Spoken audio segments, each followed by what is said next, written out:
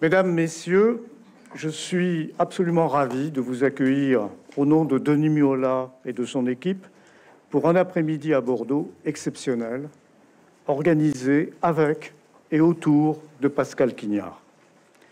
Cette manifestation bénéficie d'un partenariat fécond avec les classes préparatoires du lycée Camille Julien. Je veux ici saluer l'équipe pédagogique et notamment mes deux collègues, Hélène Perlan et Daniel Truangloy, ainsi que l'ensemble des élèves présents. Ceux-ci seront associés à nos échanges de deux manières. Par de courtes lectures de textes de Pascal Quignard avant chaque intervention et par la participation de deux étudiants à une petite, à une mini table ronde intitulée À quoi sert d'écrire à ne pas vivre mort à laquelle vous allez assister. Merci par conséquent à Amine Boustati, Clémence Loubans, Pauline Auden, Claire Pess et Germinal Ramon. La table ronde réunira dans un premier temps Dolores Lyotard, Frédéric Toudoir sur la pierre et Bénédicte Gorillot. Et après une très courte pause, nous entendrons Dominique Rabaté et Mireille Caille-Gruber.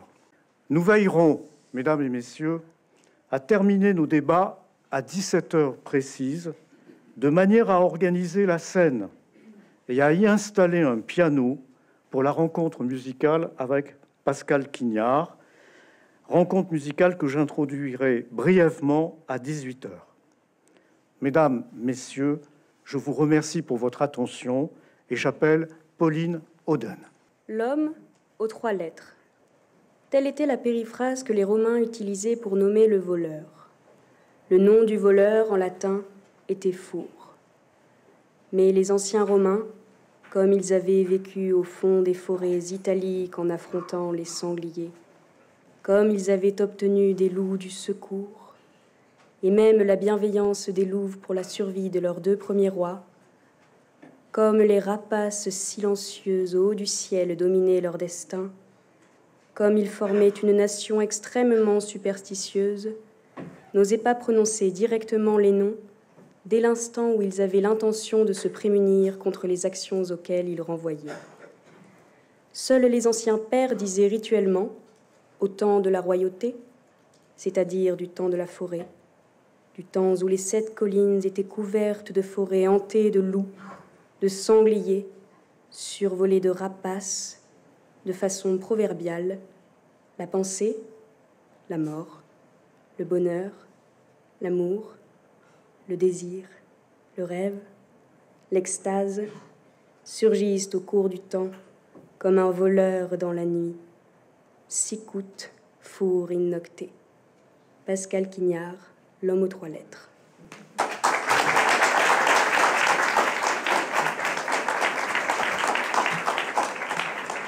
Merci, merci infiniment, Pauline Auden.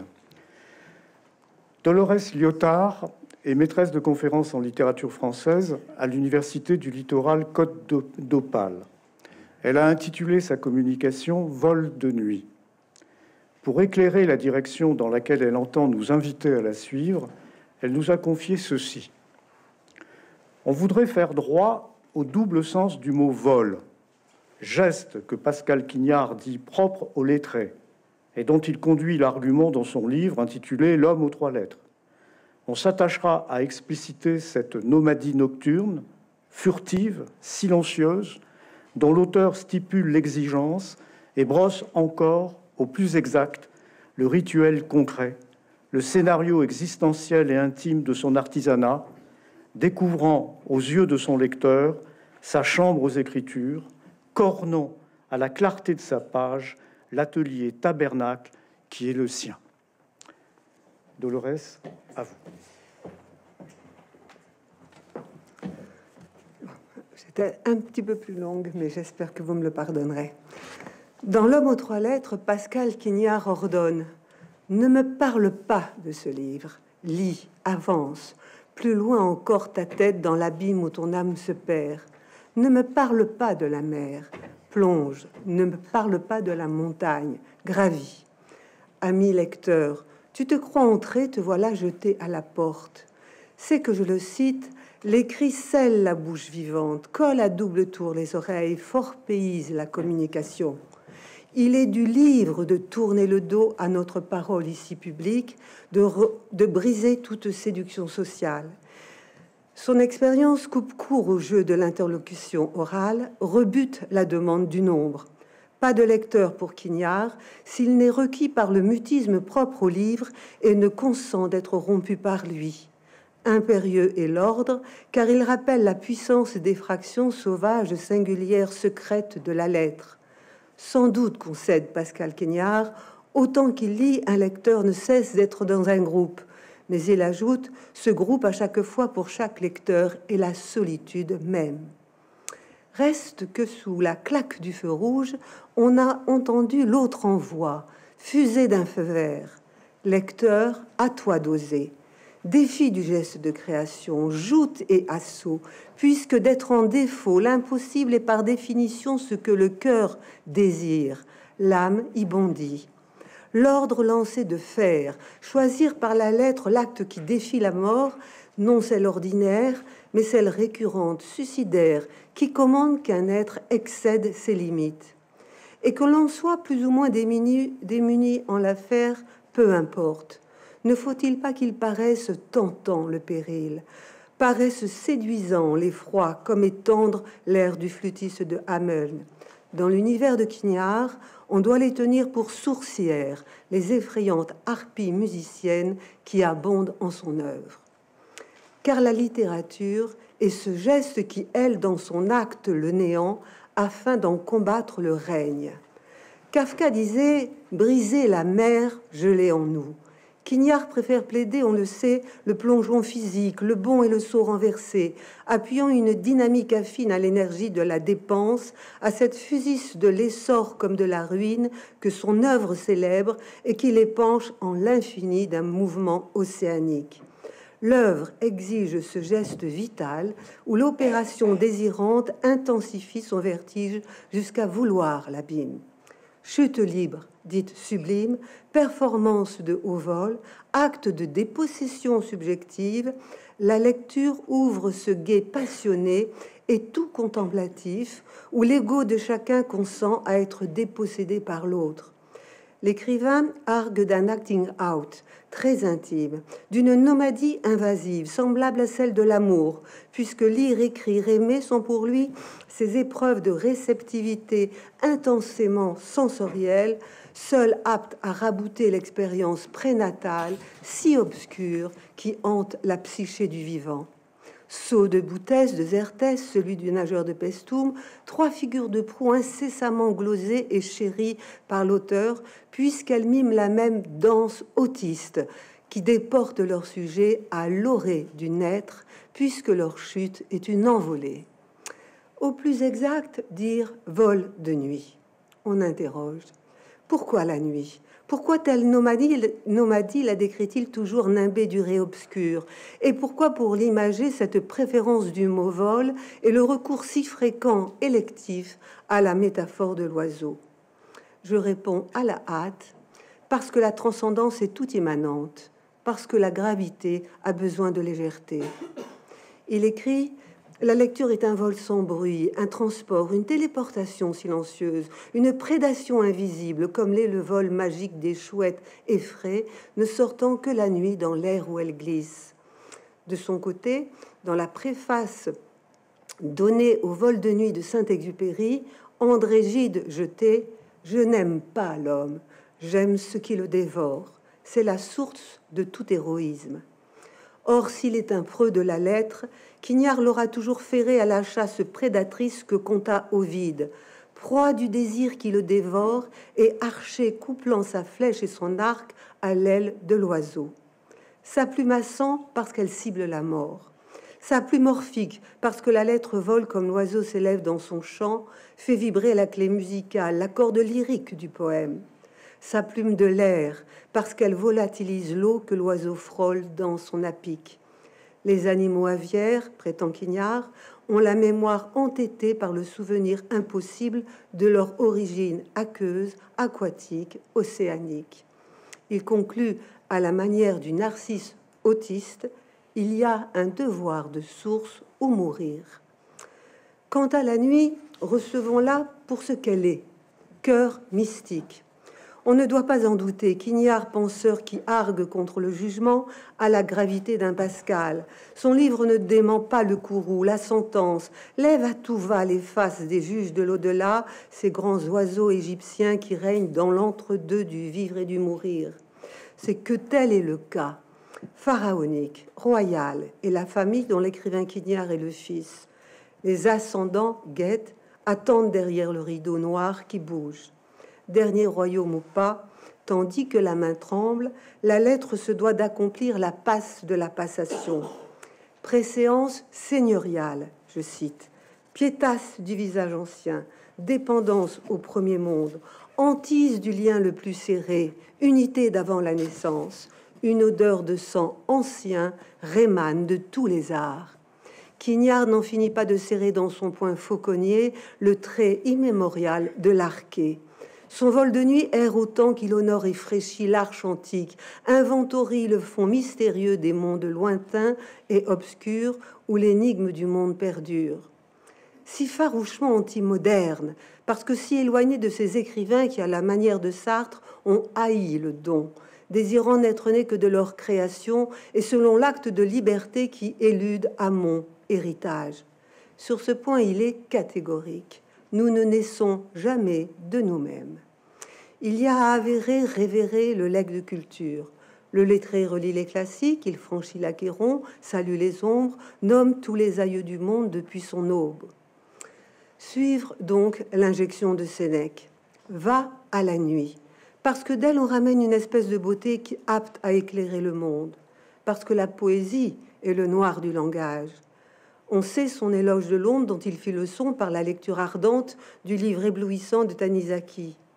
J'en simplifie drastiquement ici l'argument afin au passage de rendre hommage au peintre de l'outre-noir Soulage, à qui Christian Bobin offrit ce trait si intimement quignardien. Il écrit De rares liens nous arrachent tout et nous réduisent à notre rien.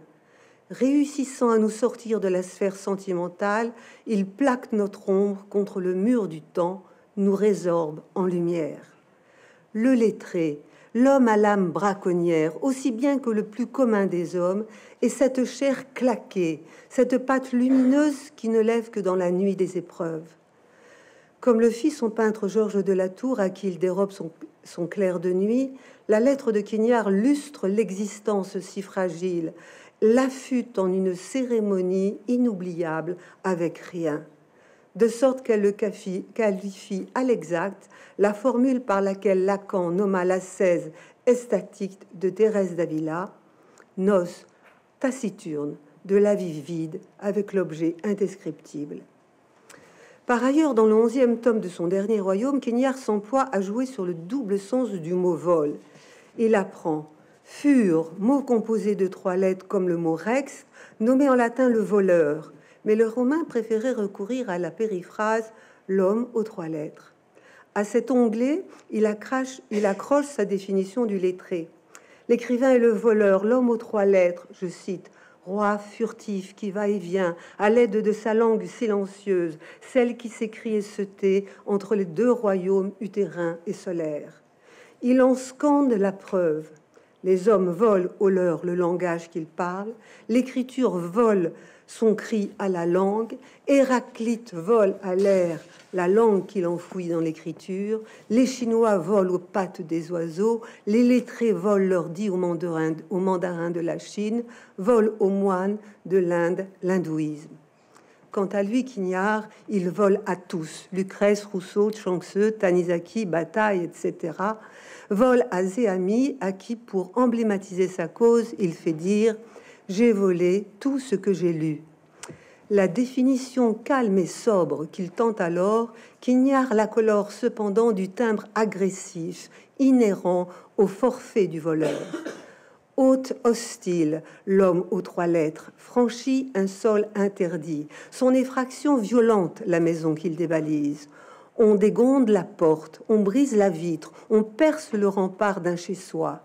Quignard invoque la faim affamé du fils prodigue, sa razzia intellectuelle, où anorexie et boulimie cadencent leur rapine, il invoque la vengeance des morts mal gardés. Car s'il est un legs, un héritage, l'écrivain ne le conçoit comme don que si celui-ci est l'objet d'un contre-don, lequel n'a rien à voir avec quelque négoce de réciprocité. Il en va d'un feedback de l'abandonné, d'une levée de l'inhibition, d'un boomerang du désir, guerre civile de la pensée, amour belliqueux pour celui qui jette, l'autre de l'autre est mon Dieu. Sa passe réflexive mêle abois, alarme, casuistique, bec à bec pinailleur, perplexité qui trouble, suspicion virtuose. Ce pourquoi l'affront savant si altier avoue son émoi, sidéré, terrifié, obsédé des châtiments qui le puniraient. Tel est le labeur archaïque, archéologue de Quignard. S'il explore le continent des cultures, informe des contextes, il les désintexte tout autant, mixe l'écrire et le désécrire, joue la mêlée et l'effacement saxifrage des savoirs hétéronomes. Sa lettre fait trembler les systèmes d'autorité acquis, quand bien même défère-t-elle à leur génie. Son enquête approche l'anamnèse freudienne, elle remonte en arrière, retrousse le capuchon de mémoire, dévalise l'histoire du logos afin d'y fendre l'oubli dont celle-ci est otage. La lettre rompt tout, barrage qui entrave. Oiseau charognard, donc, l'écrivain qui déchiquette, subtilise à l'autre son bien, soit voyou fidèle, Filou, trafiquant sans vergogne le sens de ce qu'il dérobe, laissant aux plus érudits de ses lecteurs la marque à blanc de sa fraude. Interprète farouchement attaché à sa faute, ce dol inhérent à la traduction qu'il donne et truque avec ruse et sagacité. Sa manière de chauffer à blanc la leçon ancienne, lui voler son sang de sorte qu'il gicle au visage de son lecteur son œuvre enceinte de tant de citations données sans guillemets, traduites sans la mention nommée de leur auteur, puisque l'écrivain ventriloque les essaime tacites, comme le sont les mille traits de Lucrèce, traduits à l'exact, quand à contrario, il métamorphose tel vers ou phrase dont il livre la version latine ou grecque pour mieux en acter le transfert. À l'occasion, il dévoile comment opère la réverbération de sa lettre, qui mue en voyance quelques brins de sentence empruntées. Que sont les écrivains?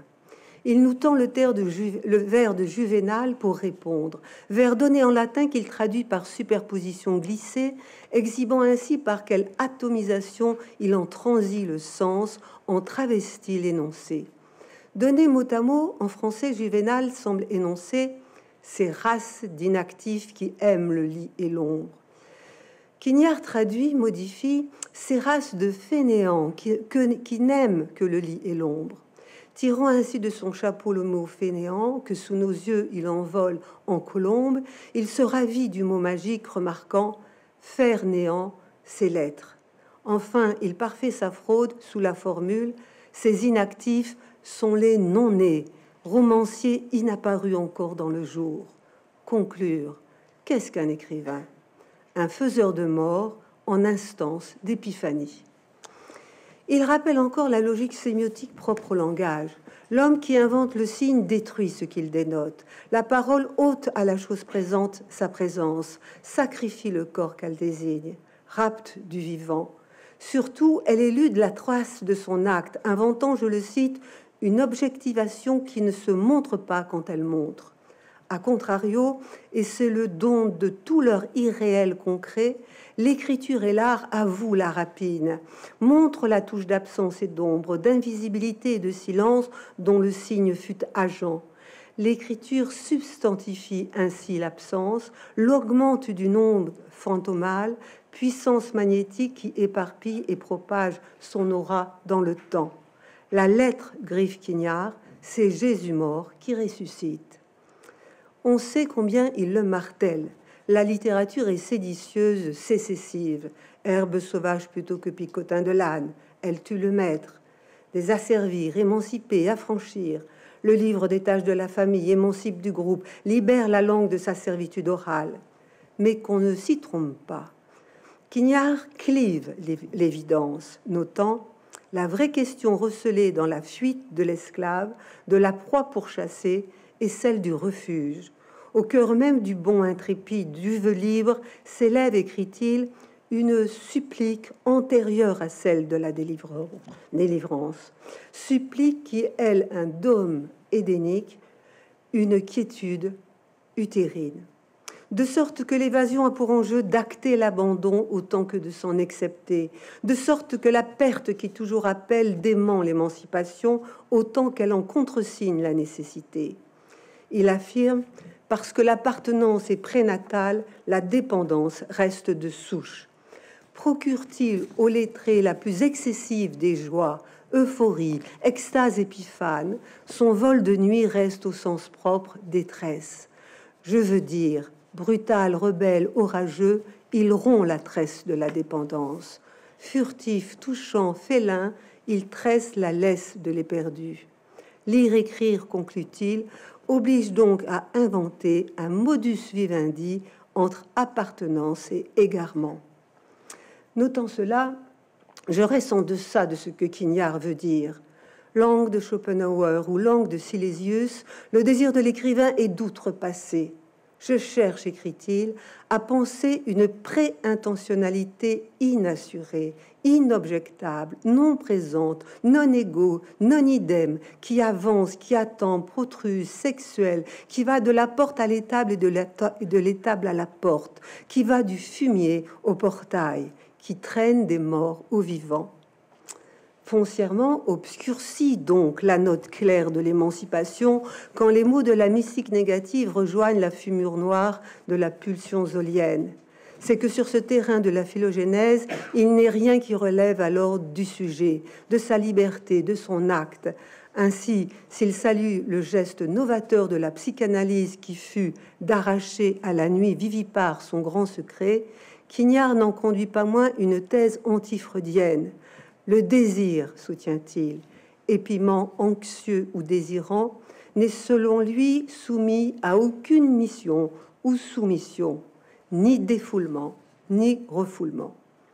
Dites hallucination animale, transe chamanique, fantasme cru, rêve nimble, association libre, songe ou méditation pensive, cela qu'il lui arrive d'assembler sous le beau mot de la rêver, ce flux de bris inconscients, épars, hétérogènes, lesquels assaillent, fusent à la saignée de l'âme, piaffent en silence, imposant leurs cris mutiques au corps aimant et souffrant, tous ces bris psychiques pulsent d'eux-mêmes et rayonnent, sont preuve d'un qui-vive vital, originaire, preuve là maintenant dans la lettre qui les accueille d'un contenu qui franchit la paroi minuscules tessons cryptiques, ils sont ces cellules rythmiques, salves de visitation et fugues qui passent le gouffre traumatique de la naissance.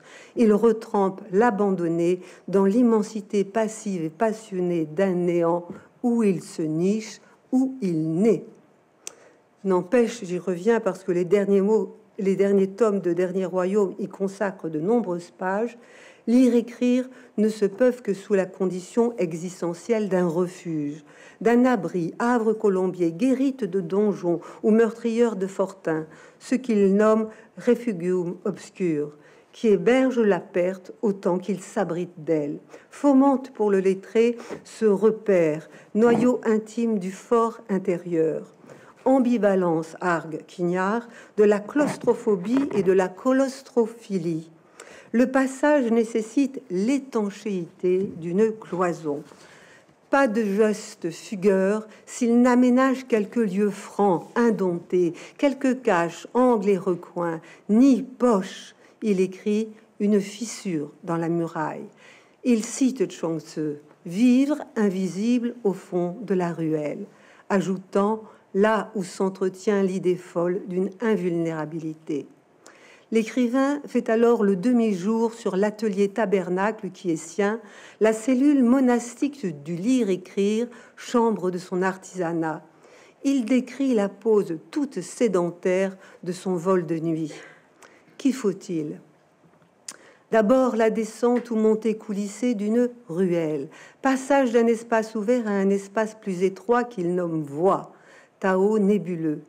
Il lui arrive de faire cet aveu J'ai grandi dans la crainte des sarcasmes et des coups à venir. Je me suis toujours gardé de ne pas les trouver justifiés, injustifiés. Comprendre, il s'en tient comptable, ne s'innocente pas, répète la fautivité furtive.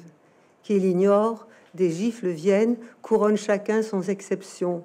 Œil collé à, la, à ce carreau d'un morceau d'enfance, l'écrivain poursuit Je me tiens sur mes gardes. Je penche la tête que je protège de mes bras. Je me faufile dans l'ombre des murs, dans la poussière des lierres.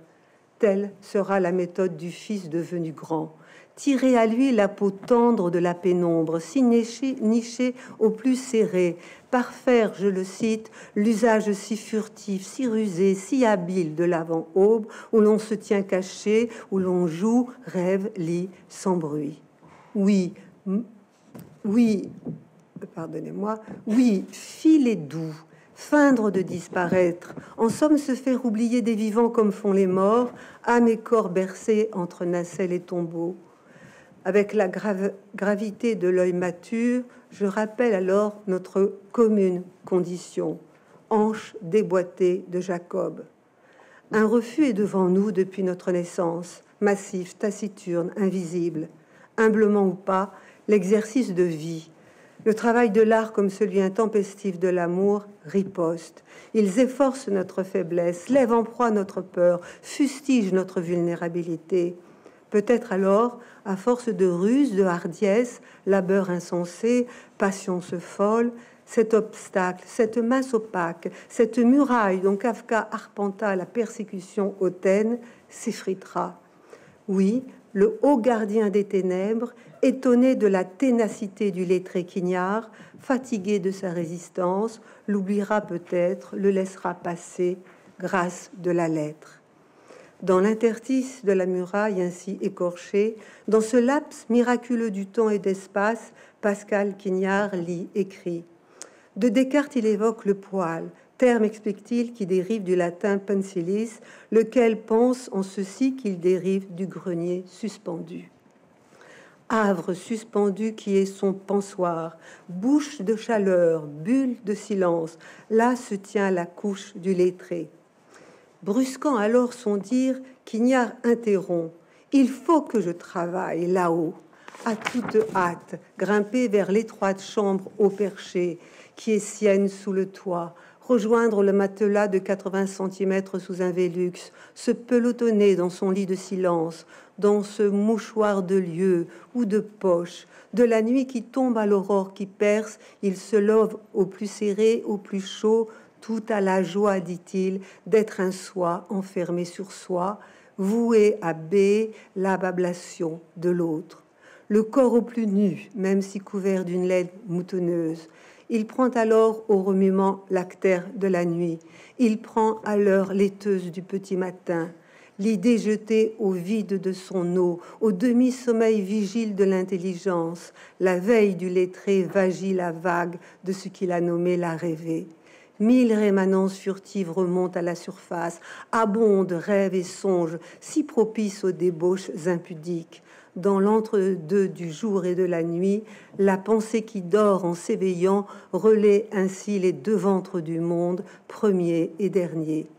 Peu à peu, le clair de l'aube jette son linge de lumière au carreau, au point d'embomber les vitres. Meubles et murs se courbent, appuient le huis clos.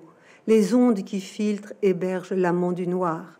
Dans la, dans pénombre qui crisse de silence, l'écoute aux aguets, avec les yeux fascinés de la chouette qui attend son heure, le lettré écaille sa lettre, codex à l'appui, page du livre couplée en elle, susurrement du crayon sur la feuille, bruit furtif gratté sur la lucarne gris de sa page, stylo tenu si serré entre ses doigts, mince tube de bakélite noire à empoigner dru, car ombilique silencieux, il est ce qui attache, garde le tact substantiel qui lie la lettre au monde perdu, rappelle l'ourlet pelucheux, doudou que les petits enfants serrent dans leurs mains.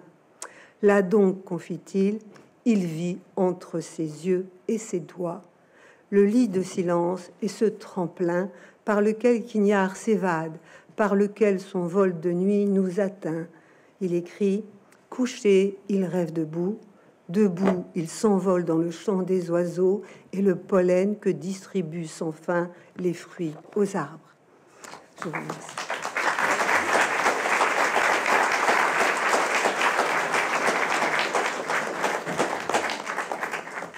Je remercie euh, vivement euh, Dolores Lyotard pour sa fort belle communication et j'appelle Madame Claire Pess.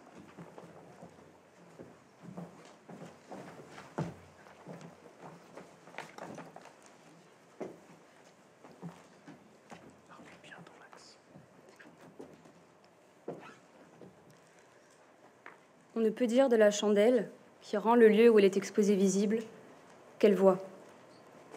On ne peut supposer, chez les personnages qu'elle illumine, qu'ils se savent visibles. Ils ne regardent pas la lumière, ni eux-mêmes, ni les objets. Chez Georges de la Tour, la lumière montre à l'insu des corps qu'elle montre. Ils sont surpris dans l'extase, surpris dans la stupeur, ou dans l'insomnie, ou la fatigue, surpris dans l'application qu'ils mettent à écraser une puce ou un pouls avec leurs ongles, surpris dans l'instant où ils soufflent sur la flamme, ou sur le foyer de la pipe, ou sur le brandon qu'ils tiennent entre leurs doigts. Ils ne s'adressent pas à ceux qui les voient. Ils ne regardent pas la lueur qui les éclaire sans qu'ils le sachent. Une pensée les absorbe. Ils ne se mêlent pas à notre vie. Ils sont notre vie quand nous sommes à l'autre, quand nous ne sommes plus en spectacle, quand, dévêtus, alors que nous songions à nous coucher, un songe vide, un retour à soi nous arrête en nous-mêmes. C'est l'aimer qu'on voit dormir. Pascal Quignard, La nuit et le silence, Georges de la Tour.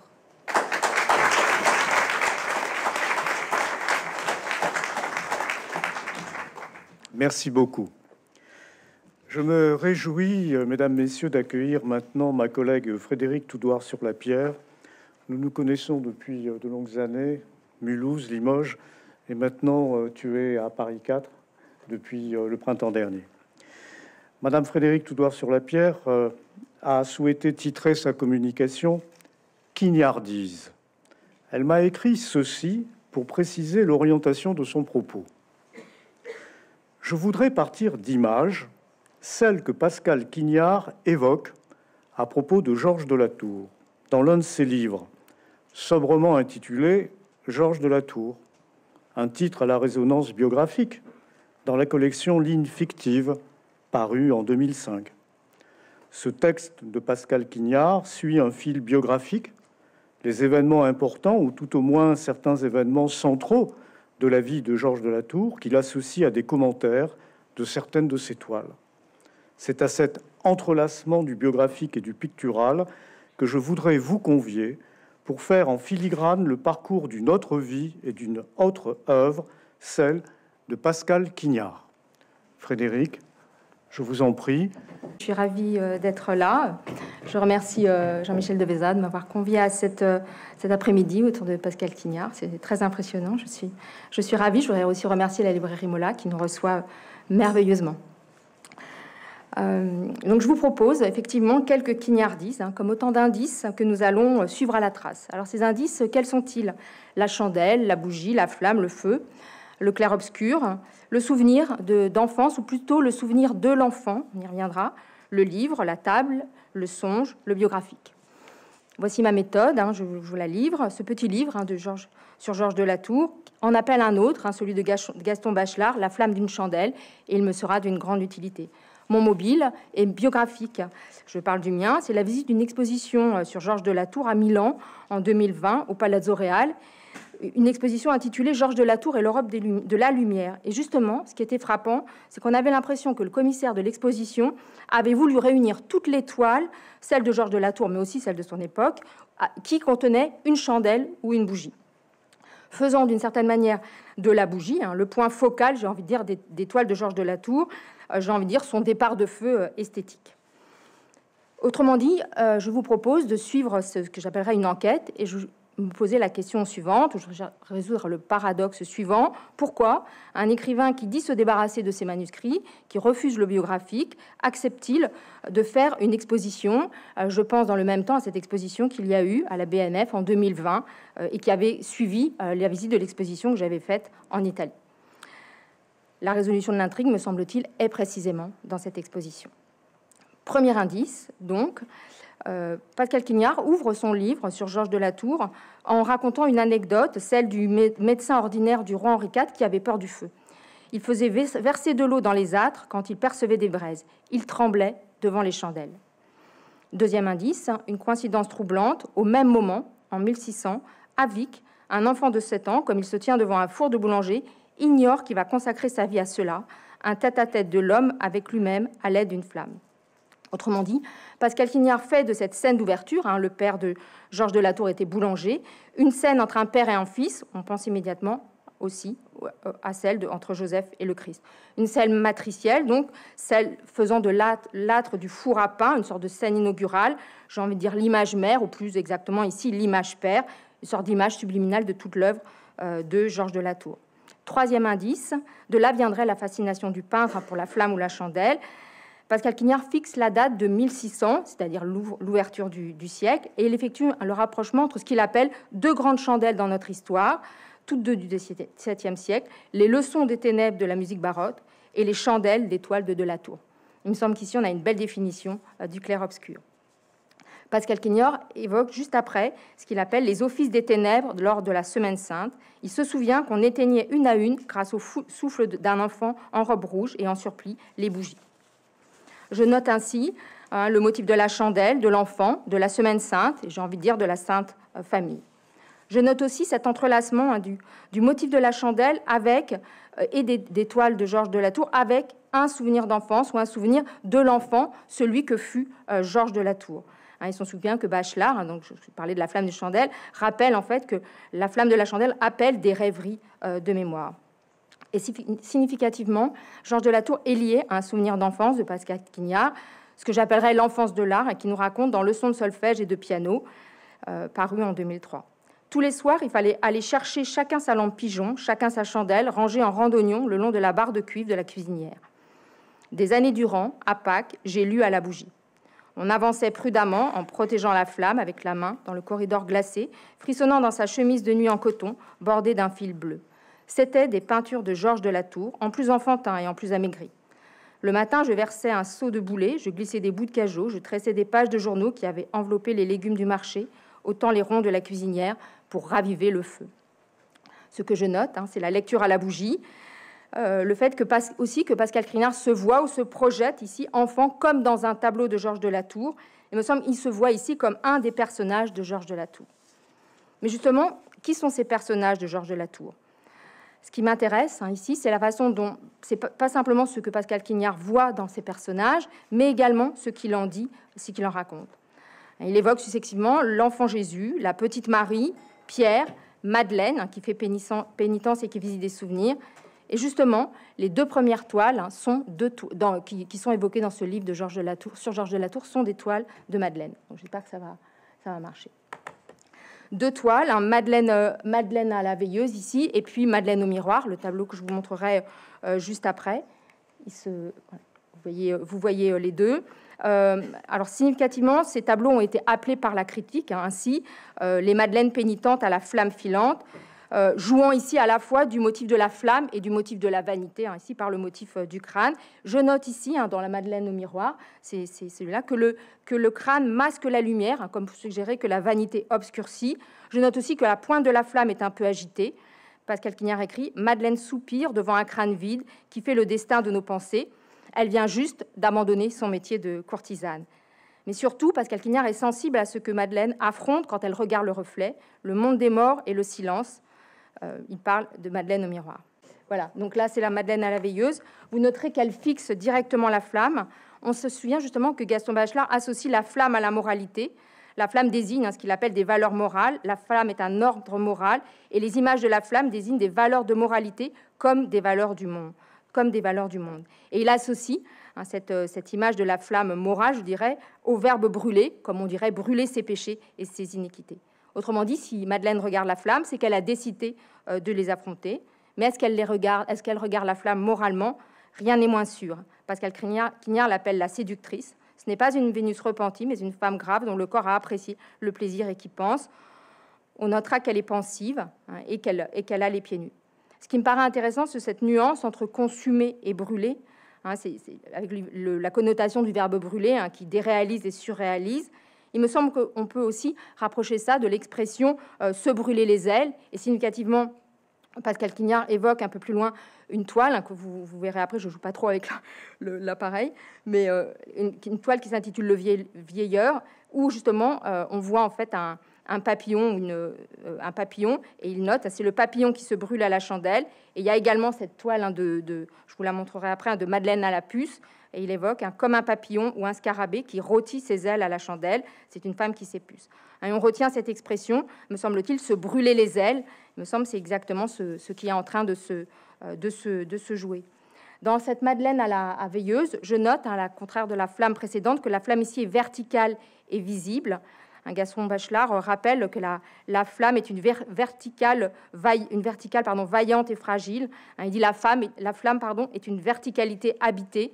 Et il me semble qu'elle nous signifie à la fois euh, que la flamme nous rappelle qu'il faut être à la hauteur de ses rêveries, et peut-être qu'elle est aussi euh, une catégorie du, du, divin. Ici, il me semble que dans cette flamme verticale, on voit ce qu'on pourrait appeler une liturgie de la flamme, qui, sans jouer sur les mots, hein, cette scène serait une sorte de baptême du feu. Je note qu'à côté de la flamme, il y a des objets, hein, ce sont des, livres, euh, j'y reviendrai. Mais dans les deux cas, donc dans les deux tableaux de Madeleine que je vous ai montrés, vous noterez que la flamme est associée au crâne. Le crâne, le motif de la vanité, bien sûr, comme s'il se retrouvait finalement redoublé et sursémantisé en quelque sorte par l'image de la flamme, parce que justement, euh, ce qui caractérise la flamme, c'est qu'elle risque à tout moment de s'éteindre, suggérant finalement une double vanité. Et euh, Gaston Bachelard souligne justement la puissance du verbe s'éteindre. Hein, il écrit Qui peut faire mourir n'importe quoi, un bruit aussi bien qu'un cœur, un amour aussi bien qu'une colère Quel est le plus grand sujet du verbe s'éteindre, la vie ou la chandelle? Il me semble que ce qu'écrit Pascal Quignard à propos de Georges de Latour pourrait être la réponse à cette question. Hein lequel quel est le plus grand sujet du verbe s'éteindre. Et ce qui me paraît intéressant également, c'est que euh, ce que souligne Bachelard, c'est que euh, le sens vrai, justement, doit se souvenir de ce qu'il appelle de la mort d'une chandelle. Autrement dit, la représentation de la flamme ou de la chandelle, qui suggère qu'elle va s'éteindre, aurait euh, une façon de, ressaisir finalement les mots dans leur sens premier, hein, une façon de les remotiver et de les resémantiser. Et il me semble que c'est exactement ce qui se produit hein, avec cette écriture de la flamme chez Pascal Quignard. Mais je dirais, on n'a rien sans rien. Et Pascal Quignard ajoute aussi une autre idée, euh, celle du sacrifice chez Georges Latour. Il sacrifia toutes les auréoles qui encerclent la tête des dieux et des saints pour leur substituer les reflets d'une bougie. Et significativement, Pascal Quignard associe Georges de Latour à Saint Jean de la Croix, dont l'un des, livres s'intitule Flamme. On pouvait rêver mieux. Et ce qui caractérise euh, Saint Jean de la Croix, je vais tenter euh, d'avancer. Voilà. Ce, qui caractérise Saint Jean de la Croix, ce sont ses extases. Et il écrit Un des frères restait près de lui en attendant qu'il revînt à lui, parce qu'il était tout égaré, comme un petit enfant quand il reprenait conscience. Et précisément, c'est le sujet de cette toile que je viens de vous montrer, qui s'intitule qui n'est pas en fait objectivement une toile sur Saint Jean de la Croix, hein, qui s'intitule Moine en prière près d'un moine mourant, qui a été euh, renommé d'une certaine manière de moine dans une cellule. Mais pour Pascal Quignard, cette, image, hein, il dit, c'est le saint des chaussées, prieur des Carmes de Grenade, tant qu'il est auprès de Dieu et que frère Maurice veille. Autrement dit, c'est Saint Jean de la Croix. Mais c'est aussi euh, Saint François, c'est à la fois Saint Jean, pardon, Saint Jean de la Croix et Saint François. Et euh, ce qui euh, intéresse, me semble-t-il, Pascal Quignard, c'est que Saint François ici est en extase, bien sûr, mais qu'il n'est pas seul. Un frère l'assiste hein, au cours de ce rapt de l'esprit. Je lis euh, Pascal Quignard. Il abandonne le cours de sa lecture sacrée qu'il est en train de faire à François. Il lève les mains jointes en signe d'action et de grâce pour remercier d'eux. le titre pourrait être La lecture interrompue.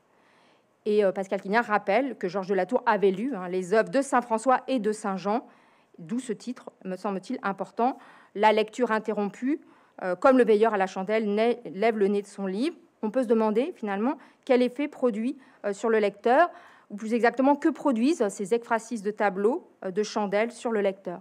Il me semble que la réponse est ici. On regarde le tableau, on interrompt sa lecture. J'en retiens, euh, il, me faudrait plus de temps pour parler de ce, tableau, mais je retiens, hein, ce qui me semble intéressant, c'est cette image d'un duo où deux personnages, euh, dont l'un, où il y a deux personnages dont l'un veille, observe l'autre, et qui permet à Pascal Quignard de retitrer cette toile. Il dit le titre pourrait être Saint François aux anges ou Saint Jean se prend pour un chat d'André. On pourrait se demander pourquoi Pascal Quignard cherche ainsi à retitrer euh, ces toiles de Georges de, de, Georges de la Tour, justement euh, pour, j'ai envie de dire, pour s'approprier euh, ces personnages. Le chapitre suivant évoque une autre toile, le songe de Saint Joseph, qui est encore plus, encore plus mystérieux. On a encore un duo, un enfant est un vieillard. Ce que souligne Pascal Quignard, c'est que sur la table est posé un chandelier de cuivre rouge. L'enfant est à gauche, il ne touche pas le vieillard, il est, qui est à droite. Mais surtout, euh, ce que note Pascal Quignard, c'est que surgit de la nuit, l'enfant n'est peut-être qu'un rêve accoudé à la table. Le vieillard s'est endormi, un livre ouvert sur les genoux. On retrouve exactement les mêmes motifs hein, qui nous avaient intrigués dans la toile précédente. La lecture interrompue, deux personnages, dont l'un veille l'autre qui est absent. Hein, et si on reprend ce que Sartre dit euh, de l'absence hein, dans, dans, Esquisse d'une théorie des émotions, soit on s'absente parce qu'on dort, soit parce qu'on est en extase. Et dans les deux cas, on est absent à soi-même, mais tout entier dans la représentation. Et il me semble que c'est justement ça, euh, le songe, hein, c'est ce qu'écrit Pascal Quignard, pénétrer dans le sommeil, c'est dans un même mouvement faire confiance au noir et perdre le contrôle de sa vie. Hein. Il écrit ça dans La vie n'est pas une biographie. Et il souligne, ce qui me paraît important justement, dans La vie n'est pas une biographie, euh, il écrit un chapitre intitulé La solitude du rêve, le fait que celui qui rêve est seul et qu'il est justement, il doit plonger dans ce qu'il appelle la grande masse ténébreuse. Et justement, ce qui me paraît intéressant avec ce tableau, c'est qu'on peut euh, rêver et ne pas être seul. Pour la critique d'art, l'enjeu de ce tableau a surtout constitué à savoir qui étaient ces personnages. Hein. L'énigme porte sur l'identité. Pour Paul Jameau, c'est l'ange délivrant Saint-Pierre. Pascal Quignard euh, lui propose une autre euh, lecture. C'est peut-être l'une des trois nuits qui concerne Joseph, qui se trouve dans Matthieu. 1. Un ange, un ange en songe ordonne à Joseph d'épouser Marie et de donner à l'enfant qu'elle porte le nom de Jésus. 2. Un ange en songe ordonne à Joseph de se lever, de prendre Jésus, Marie, l'âne, la lanterne et de fuir de nuit en Égypte. 3. Un ange en songe apprend à Joseph la mort d'Hérode et qu'il est possible de retourner avec les siens au pays d'Israël. Mais ce qui pose problème à Pascal Quignard, mais où voit-on que Joseph lisait? Je vous propose plusieurs interprétations. La première, on pourrait dire que finalement, cette, euh, cette image, finalement, c'est une image de, la table, enfin, de, la, flamme, bien sûr, mais aussi l'image de la table, de la table d'étude, une sorte d'allégorie. Hein, cette, euh, cette, image serait une sorte d'allégorie de l'étude, hein, que, euh, cette idée que, dans le fond, on travaille à la lumière de la, de, la chandelle dans une mansarde. Deuxième interprétation, que fait, ou plutôt qu'écrit Pascal Quignard, il change de personnage, autrement dit, il désattribue les personnages, de même qu'on a désattribué les tableaux. Hein, c'est un mouvement qu'effectuent souvent les critiques d'art. Et il a, Pascal Quignard écrit, ou encore c'est Matthieu lui-même, il écoute l'ange qui lui murmure les paroles divines qui font son évangile. Il tient le livre sur les genoux. Le songe, donc, serait ce qui va donner lieu au livre. Hein. Le livre sur les genoux serait une sorte de prolepse divine en quelque sorte, et j'y vois ici peut-être une métaphore, une image de l'écrivain lui-même. Troisième interprétation, cette toile, c'est aussi pour Pascal Quignard, l'enfant qui regarde l'adulte, ce qu'il sera, ou peut-être ce qu'il pourrait euh, devenir. Ou alors, c'est l'inverse, c'est l'adulte qui rêve à l'enfant qu'il a été. Et l'enfant ici est une apparition hein, du songe de Saint Joseph. On se rappelle la phrase de Pascal Quignard, surgit de la nuit, l'enfant n'est peut-être qu'un rêve. Et justement, on, retrouve Joseph, hein, dont on se demandait si c'était Joseph ou Matthieu, dans une autre toile, sans doute la plus émouvante en fait, euh, une des plus émouvantes en tout cas de Georges de Latour, euh, Saint Joseph dans son atelier, tableau appelé aussi Saint Joseph charpentier. Ce que souligne euh, Pascal Quignard, c'est que la scène se passe dans un atelier qui est une cave étouffante. Saint Joseph est maigre, c'est l'enfant qui tient la chandelle. Que fait Joseph? Il fait une croix. Il dit la croix s'élève dans l'image. Il me semble qu'on peut voir une double attribution c'est Georges de la Tour avec son père, c'est le Christ avec Joseph. Mais surtout, ce que souligne Pascal Quignard, c'est la préscience de l'enfant. L'enfant sans croître en lui, la divinité comme la croix, euh, croit sous les, doigts de son père. Ici, il y a une forme d'analogie funeste, hein, c'est le tragique par excellence. Le père prépare la croix pour son fils. Et Pascal Quignard écrit Il y a une vie cachée dans l'enfance qui est la préfiguration de ce qui va être vécu et qui l'imprègne. Un fils de charpentier ne peut finir que cloué sur du bois. Un fils de boulanger ne peut finir que dans les images carmin qui cuisent dans le four durant les dernières heures de la nuit. La toile suivante va nous conformer, conforter dans cette dernière optique. On retrouve, alors, même, fil conducteur avec cette question du changement des titres. Hein. La toile s'appelle Nouveau-né, mais elle, s'est également intitulée L'éveilleuse ou L'enfant mort. Et il me semble que la question du retitrage hein, des tableaux va de pair avec cette question de désattribution des personnages hein, dont, je vous ai parlé. Dans cette toile, la lumière de la chandelle est masquée par la main levée. Euh, première chose. Deuxième chose, on ne sait pas, écrit Pascal Quignard, si c'est un enfant ou Jésus, ou plutôt tout enfant est Jésus, toute femme qui se penche sur son nouveau-né est Marie qui veille un fils qui va mourir. Il me semble intéressant euh, que dans, pour cette toile, Pascal Quignard hésite en fait, enfin montre plus exactement une hésitation sur la nature de, ces deux personnages féminins. Anne, si c'est Anne, est de profil, Marie, si c'est Marie, est de face. Il ajoute, si c'est Anne, elle a un pli amer aux lèvres, elle anticipe le destin tragique. Si c'est Marie, elle contemple au loin la passion.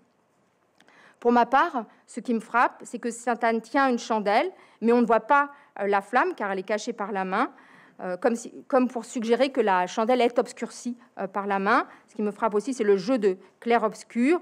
Et significativement, à ce moment-là du texte, Pascal Quignard rapproche euh, ce tableau de deux éléments biographiques de Georges de la Tour. il, écrit hein, L'empreinte de l'enfance, ce fut le feu du four. Il raconte, hein, premièrement, un enfant qui regarde et épie dans l'embrasure étroite du four, au loin, dans le feu presque blanc, que le pain lève et colore. Autrement dit, euh, il me semble qu'il fait trois choses. Hein. Il fantasme et fictionnalise une scène d'enfance, hein, celle de Georges de la Tour regardant son père faire du pain. Deuxième chose, il fait d'une de ses idées, intuition, obsession, le feu du four, hein, la flamme, la chandelle, une anecdote biographique qu'il narrativise à partir de sa lecture de la toile. Mais surtout, troisième point, il associe cette image du feu du four à un autre feu, j'ai envie de dire, l'incendie de Lunéville en 1638, qui a détruit la, moitié la plupart des toiles de Georges de la Tour. Il écrit peut-être L'incendie de Lunéville a-t-il réapproprié à sa combustion tragique le feu nourrissant du four de l'enfance? Pour ma part, j'y vois un écho à la vie de Pascal Quignard quand il a brûlé lui-même ses toiles. On sait que de 1964 à 1967, Pascal Quignard peint un grand nombre de toiles qui brûlera en 1968. Il fera de même pour certaines compositions musicales et son journal. Le feu, ici, peut être associé à la figure du tisonneur. On se souvient euh, que Gaston Bachelard fait une différence entre le, la chandelle qui brûle, parce qu'elle brûle toute seule, et le feu qui a besoin euh, d'être alimenté. C'est le rôle du tisonneur. Il aide le bois à brûler, ce qui n'est rien d'autre qu'une action de Prométhée. Il me semble qu'ici, on peut y voir une mise en abîme de l'écrivain. Mais surtout, à la fin du texte, on retrouve ce motif de l'incendie. Le devenir du feu, écrit Pascal Quignard, n'est-il pas le plus dramatique et le plus vif des devenirs? Le monde va vite si on l'imagine en feu. Et à la fin de ce texte, justement, Pascal Quignard évoque le fils de Georges du Lartour, celui que Pascal Quignard voyait fantasmatiquement dans la toile de Joseph le Charpentier. Autrement dit, l'enfant Georges de Latour est devenu un père à présent, et ce fils qui a renié le père à sa façon, en reniant, euh, en abandonnant sa peinture, en devenant noble, et surtout, euh, écrit Pascal Quignard, Étienne de Latour versa une huile noble sur ce feu pour ajouter à sa combustion. Sur une production qui devait compter entre 400 et 500 toiles, il restèrent 23 originaux, 3 gravures, et 2 lettres. Ici euh, s'exprime le pouvoir du fils sur le père par le motif du feu. Et significativement, à la fin de l'exposition hein, qui avait lieu en, 2020 à la BNF, on voyait une vidéo, et à la fin de cette euh, vidéo, on voyait Pascal Quignard brûler ses manuscrits, les mettre au feu d'une cheminée. Il me semble qu'on peut reprendre la distinction que fait euh, Gaston Bachelard entre la flamme et le flambeau. Le flambeau, écrit-il, c'est une flamme qui brûle glorieusement. Hein, je pense, ma part, à l'expression passer le flambeau. Est-ce que ce serait l'enjeu de cette exposition? Je me pose la question. Hein, la phrase de Pascal Quignard La beauté est une flamme de chandelle. Euh, ne serait-ce pas plutôt l'exposition qui serait la flamme, la bougie, la chandelle, quand le don d'archives serait ce passage de flambeau? Je vous remercie.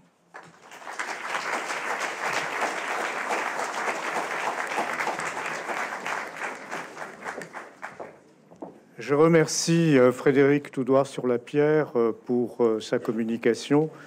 Elle nous montre que lire, c'est enquêter et que enquêter conduit à l'interprétation. J'appelle Madame Clémence Loubens.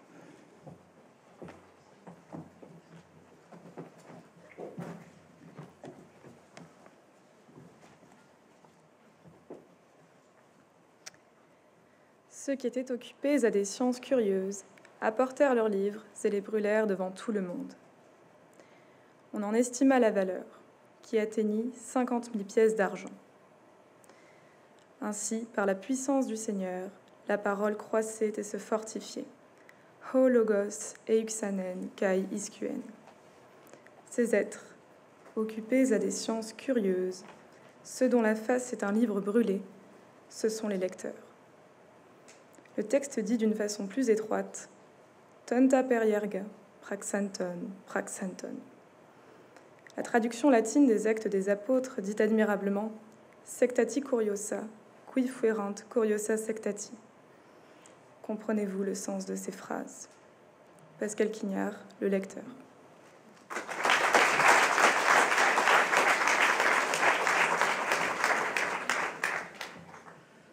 Merci Clémence. Je suis euh, ravi euh, de passer la parole à ma collègue Bénédicte Gorillo, qui est maîtresse de conférences en poésie latine et en littérature française contemporaine à l'Université de Valenciennes. Elle a donné pour titre à sa communication celui-ci Pascal Quignard, lire, traduire, écrire en gréco-latin.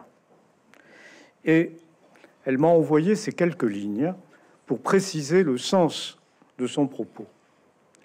Il s'agira de décrire l'ancrage décisif, car fondateur de sens, de l'écriture quignardienne dans un fond latin originaire qui ne se pense en réalité qu'en fond gréco-latin, ouvert vers l'autre, le grec prédécesseur, et permettant l'anamnèse rêvée vers le toujours plus archaïque, ce qui est au commencement. Cet ancrage dans ce fond source passe par diverses modalités, évoquées rapidement afin de respecter le temps qui nous est imparti.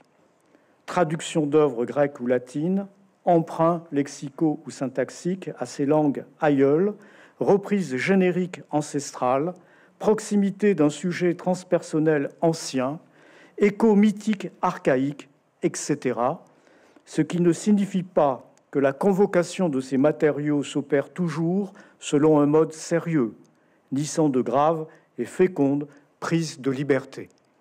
À vous, Bénédicte. Alors bonjour à toutes et à tous. Merci à vous d'avoir pris sur votre temps très, très serré, notamment pour les, les hypocagneux, pour venir nous écouter aujourd'hui. Merci à vous, Jean-Michel, pour votre invitation et à la librairie Mola pour son accueil. Mon propos ici et d'interroger la figure de l'auteur Pascal Quignard sous un angle couramment perçu par tous, même les, non-spécialistes, à savoir son intimité avec le fond gréco-latin, que nous sommes quelques rares collègues à avoir choisi d'éclairer dans nos publications, et moi plus systématiquement. Je propose ici synthétiquement d'en évaluer la radicalité, au double sens d'excès, et d'un enracinement, radex radicis en latin. Car Pascal Quignard ne fait pas que convoquer fréquemment les auteurs, mots, genres, euh, grecs ou latins, il les lit, traduit, écrit avec un trait d'union, réellement, en auteur gréco-latin, depuis le XXIe siècle où il vit, et cela jusque dans sa façon de s'approprier et de déformer ses sources antiques. Lire, traduire, écrire, le fil de ce panel, puisque l'expression est revenue systématiquement dans nos interventions. Par ces trois mots, abondamment glosés par les commentateurs de Pascal Quignard, eh bien, l'auteur aime à caractériser précisément sa pratique octoriale. Ainsi, dans le 20e traité, Langue, paru en 1990, il affirme que, je cite, Lire, traduire, écrire sont indiscernable.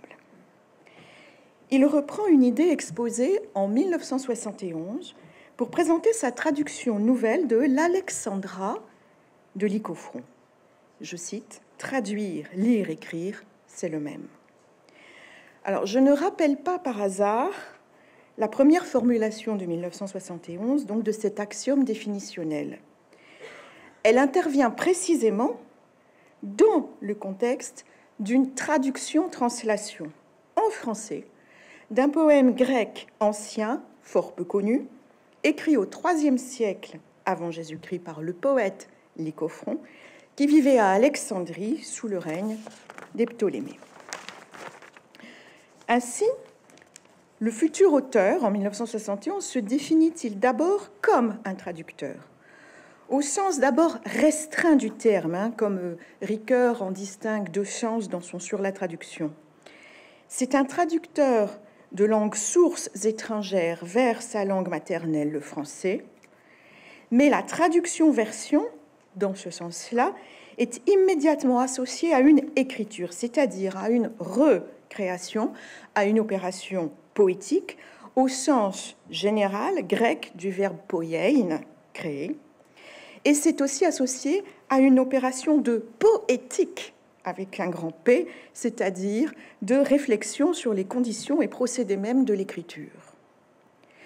Le résultat est intéressant parce qu'il suggère comment, en 1971, à l'aube d'une carrière d'écrivain, celui qui s'appellera plus tard l'auteur Pascal Quignard identifie un aliment nécessaire de son inspiration littéraire la traduction d'autres auteurs venus d'autres langues, et en particulier venus du socle antique, notamment gréco-latin, exemplarisé ici par les Crofons, pour nourrir son écriture. Il invite ses lecteurs non pas seulement à reconnaître le souvenir thématique de ce socle gréco-latin, mais aussi à mesurer donc la puissance de fermentation qu'a précisément chez lui le geste de version, grecque, ici pour Lycophron, ou latine pour euh, d'autres auteurs, par exemple les rhéteurs augustéens. Et ce procédé d'insémination, d'innutritio, comme on disait à la Renaissance, de l'œuvre française moderne par le geste millénaire de traduction du grec ancien ou du latin, mérite donc d'être étudié comme tel, et c'est ce sur quoi je me suis centrée aujourd'hui.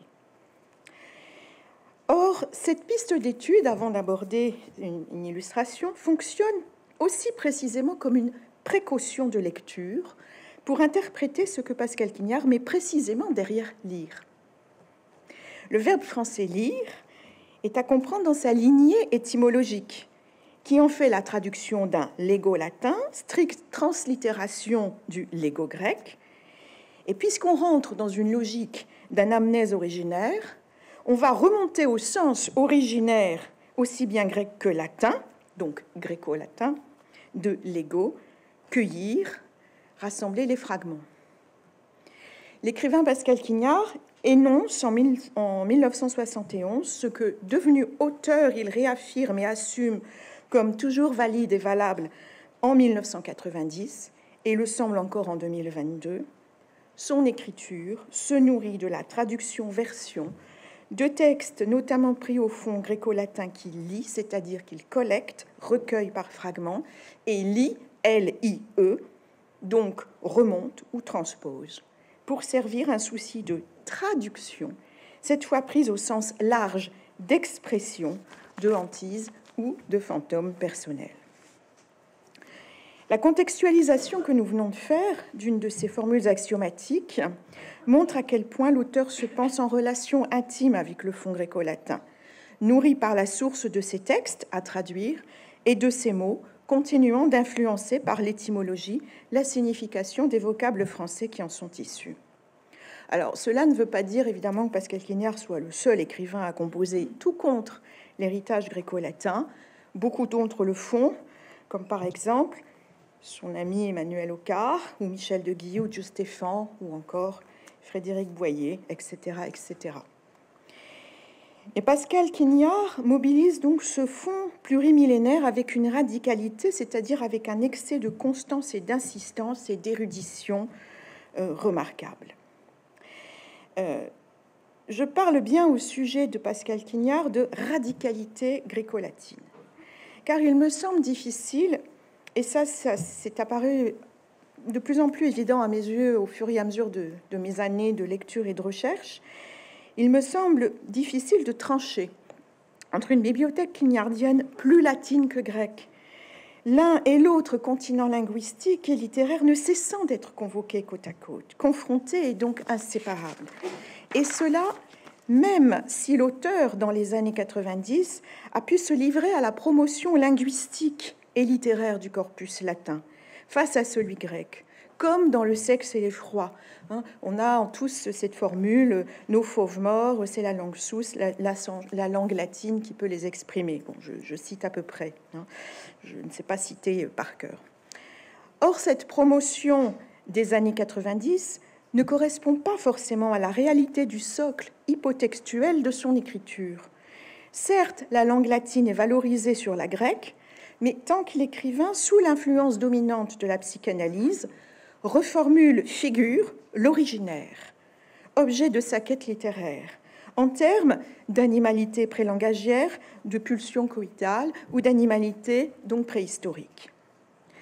Mais ses débuts dans l'écriture, contemporains de la traduction de l'Icofront par laquelle nous commençons, et ses textes plus récents, encadrent une période correspondant à sa propre analyse entre 1982 et 1992 et promeuvent d'autres figurations de l'originaire. Par exemple, par l'obscurité poétique, précisément celle incarnée par l'obscur lycophron, ou par le mutique sacré, des figures religieuses, il vient d'en être évoqué, entend les livres parus notamment depuis 2000, par exemple dans Requiem en 2006, Lycophron et Zétès, paru en 2010, Les larmes en 2016, ou encore L'homme aux trois lettres, dont il a été lu un extrait pour ouvrir. Pascal Quignard donc ne cesse donc de puiser euh, excessivement, c'est-à-dire démesurément, chez ses ancêtres grecs comme latins, pour créer sa voix radicale, c'est-à-dire en quête de l'originaire obsédant, dont faire apparaître l'imago saisissante, et l'imago avec le sens latin très fort du masque des ancêtres qui permettent de rendre présent magiquement ces ancêtres jusqu'à nous, eh bien, va le situer, ce désir, de dans un rapport d'héritage avec ce fond. Je vais essayer d'illustrer la force de cette inutritio gréco-latine en nous focalisant sur un exemple. L'exemple d'une traduction, celle particulière de l'Alexandra de Lycophron, pour montrer comment elle a directement donné naissance à l'œuvre originale française des fragments de Zétès, publiés en première publication en 1976, 1976 pardon, et en réalité des fragments de Pascal Quignard en lycophron de Zétès. Je vous ai donc recopié euh, le début de la traduction du poème euh, donc de Lycophron, Alexandra, euh, qui est réputé l'un des plus obscurs de la littérature hellénistique. ce texte, donc réputé obscur ou illisible selon le, le, degré de perdition du lecteur et du traducteur, présente le récit par un serviteur du roi Priam, celui qui dit je, dirait, de la prophétie catastrophique délivrée par la mythique Cassandre, hein, la, jeune fille, non, pas calme, mais ni lente, la fille, hein, euh, qui est la sœur du beau Paris, le futur ravisseur de la belle Hélène grecque, au matin où celui-ci, Paris, a quitté Troie pour un voyage en Grèce. Cassandre a prédit la guerre de Troie et la chute de la cité illustre, mais n'a été écoutée par personne. Donc voici, euh, je vous laisse lire le, début. Je juste prendre, je dirais. C'est sans détour que je dirai toute chose sur quoi tu m'interroges, je dirais. Cela depuis l'origine et dès que ce qui culmine, si la parole se fait longueur, pardon, maître, car non pas calme ni lente la fille, ô réponse divine, elle ne desserra pas, comme jadis les lèvres, et de l'abord vouée d'équivoques palpitantes. J'ai mis une petite coupe. Elle cria, au contraire, elle est penchée à un cri qui confond et à quoi tout se mêle. Pascal Quignard traduit en précisant aussi ses positions de traductologie. Ainsi, dans la republication de cette traduction en 2010, accompagnée donc de Zétès. Dans la préface à Zétès, je le cite, il avoue une dette absolue contractée à l'égard de Pierre Klosowski. Il veut en rejoindre le parti intenable, moderne, tenir compte aussi bien du signifiant que du signifié. En effet, en 1964, dans sa préface à l'Énéide, adressée au poète Georges Perros, Klossowski avait revendiqué de ne pas oublier le signifiant, la valeur sonore du mot latin ou l'instrumentation incantatoire de la syntaxe latine. Et pour ce faire, il a recommandé de les suivre de si, je cite, astreinte pas à pas. Mais la conscience radicale qu'a Klossowski de l'écart existant entre les langues a contredit ce pari forcené du mot à mot. Pourtant, Klossowski n'a pas voulu renoncer à son idéal et s'est acharné à articuler méticuleusement les signifiés et signifiants de la langue latine source au parler français récepteur, quitte à produire un français illisible, moi je préférerais dire dislisible. Je cite le premier vers de la traduction de l'aîné de Klossowski pour que vous voyez la proximité avec Pascal Quignard. Arma, Virum, Canont, etc. Je chante donc les armes, je célèbre, et l'homme qui, le premier des Troyennes rives en Italie, par la fatalité fugitive, est venu au Lavinien littoral. Alors, en 71 aussi, euh, Pascal Quignard s'était inscrit dans cette lignée euh, où il avait insisté sur l'impossibilité de l'existence euh, d'une traduction. Nous n'avons pas de traduction française de l'Alexandra et nous ne pouvons pas en avoir. On comprend maintenant la portée de ce ne pouvons pas. Hein. Un, tel texte ne peut pas être traduit. L'auteur en avait tiré cette conséquence méthodologique d'une traduction, pardon, qui ne soit plus restitution, mais répétition. Je cite ce mime mot à mot d'une telle différence creusée. Et il ajoute pour conclure la traduction d'emblée mot à mot par ce mime du mot à mot lui-même, sevré de la fin d'équation illusoire, c'est cette inégalité surenchérie.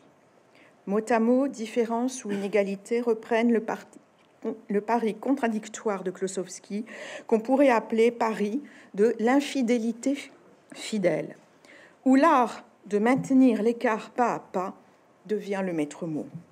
Cela revient à exhiber dans la traduction les inexactitudes postulées entre le français et le grec, ou entre le français et le latin, non pour arranger, amender le grec ou le latin selon le français, ça c'est la belle infidèle de ménage, mais pour déranger, étrangier, pour utiliser un vieux mot médiéval, le français par le grec ou le latin et ainsi espérer ensauvager cette langue française devenue incapable d'exprimer notre fond sauvage originaire, étouffé par euh, les conventions et les habitudes d'expression. La traduction que Pascal Quignard vous propose illustre euh, ces partis pris. Par exemple, euh, il a outré le changement de vers du grec au français en introduisant une polymétrie voyante, voire une incertitude de versification. Est-ce qu'on a affaire à des vers libres, à des versets Là où le grec a pratiqué une isométrie farouche. En effet, le poème hellénistique était entièrement écrit en trimètre iambique. Trimètre iambique, troisième, c'est-à-dire trois fois brève longue, brève longue, brève longue, brève longue. Le vers de l'épigramme satirique ou du chœur théâtral. Pascal Quignard ouvre certes sa traduction par un trimètre syllabique. Si je compte, je dirais 1, 2, 3. Mais lui succèdent deux pseudo-décasyllabes, hein, composant le deuxième vers libre ou versé. C'est sans détour 4 que je dirai toute chose 6, donc 4, 6. Sur quoi tu m'interroges 7, je dirai 3. vous voyez tout l'arbitraire de la scansion que je propose. Et c'est fait exprès. Cela montre à quel point on quitte le système de versification du grec, impossible à tenir dans la langue française qui n'est pas quantitative mais syllabique.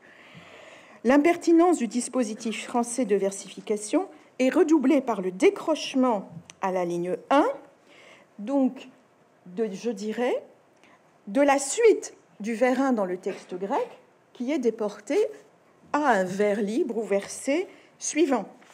Et à l'inclusion d'un tiré typographique, précisément pour empêcher de ne pas voir cette atteinte à la disposition typographique originelle du texte source.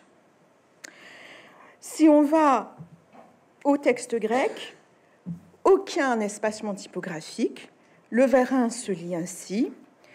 Lexo, tapan, tanek, treco, sami, stories. J'ai fait exprès de marquer les durées. Alors pour les non-hellénistes de l'Assemblée, je donne la traduction qu'en propose Laurence Plazonnet, ma collègue helléniste. Je dirai exactement tout ce que tu me demandes. Depuis son extrême début, si traîne en longueur mon discours, donc c'est ce que vous avez à côté, pardon maître, c'est que paisible la jeune fille n'a pas libéré comme autrefois l'inconstante bouche des oracles. Mais après avoir poussé un immense cri confus, elle a fait étinceler les paroles inspirées qui surgissent d'une gorge mâche laurier, de la sombre sphinge imitant la voix. Alors la traductrice ajoute Le sens ne pose aucune difficulté particulière. Les effets sont sobres, passer l'attaque sur le futur lexo, qui dramatise de façon emphatique le début du discours et établit une consonance avec l'intervention de Nestor au chant neuf de l'Iliade. Panta di Xomai. Alors, Pascal Quignard en aurait-il rajouté sur la difficulté du texte de Lycophron et son obscurité? C'est l'hypothèse de Laurence Plasnet. Pourtant, l'obscurité de Lycophron n'est pas un mythe interprétatif. Et les divers spécialistes du poète grec la confirment et l'expliquent, soit comme une réaction contre la bâtardisation du grec au IIIe siècle avant Jésus-Christ, devenu koiné, c'est-à-dire la langue véhiculaire appauvrie, c'est notre globiche actuel anglais, hein. soit comme trait de l'esthétique poétique alexandrine de l'époque qui valorise les jeunes mots virtuoses et l'hyper-érudition savante, soit comme une nécessité poétique théorisée par Aristote dans la poétique, c'est la loi du prépone, d'adaptation du fond à la forme, d'adaptation de la parlure obscure au personnage présenté une sorte de pitié éructante, ne donnant que des paroles obliques, paroles confuses. Et il n'est jusqu'à l'un des commentateurs byzantins du XIIe siècle, un certain Cétès, qui ne qualifie le texte de Lycophron de barbare, pour dénoncer tous les troubles, toutes les complications et déformations de son lexique et de sa syntaxe. Pour autant, Pascal Quignard donc respecte aussi profondément la dynamique de l'écriture de Lycophron, son obscurité, comme sa dynamique quelque part de versification. En effet, le poète alexandrin avait choisi de placer, de pousser en tête de vers et de proposition le verbe conjugué lexo, que la langue grecque normalement place le plus souvent euh, plus loin dans la phrase, hein, sauf dans le cas des impératifs. Et Pascal Quignard rend cette rareté syntaxique évidente en détachant justement ce, ce dirait par le trimètre isolé dont on a déjà parlé. Cette antéposition de l'exo par euh, Lycophron s'apparentait aussi à une figure d'insistance. Lycophron mettait d'emblée l'accent autoréférentiel sur le drame d'une parole vouée à rester vaine.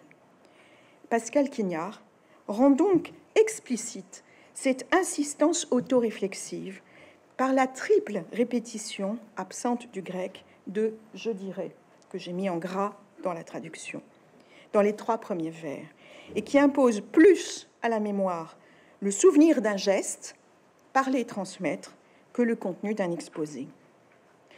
Donc sur ce seul vers de Lycophron, nous voyons comment Pascal Quignard réalise ce qu'il théorise. Traduire, lire, écrire, c'est le maître. Et qu'il glosera et reprendra dans le 20e petit traité en 1989, que je cite pour aborder notre dernier mouvement. Traduire, c'est suivre le texte dont on s'écarte.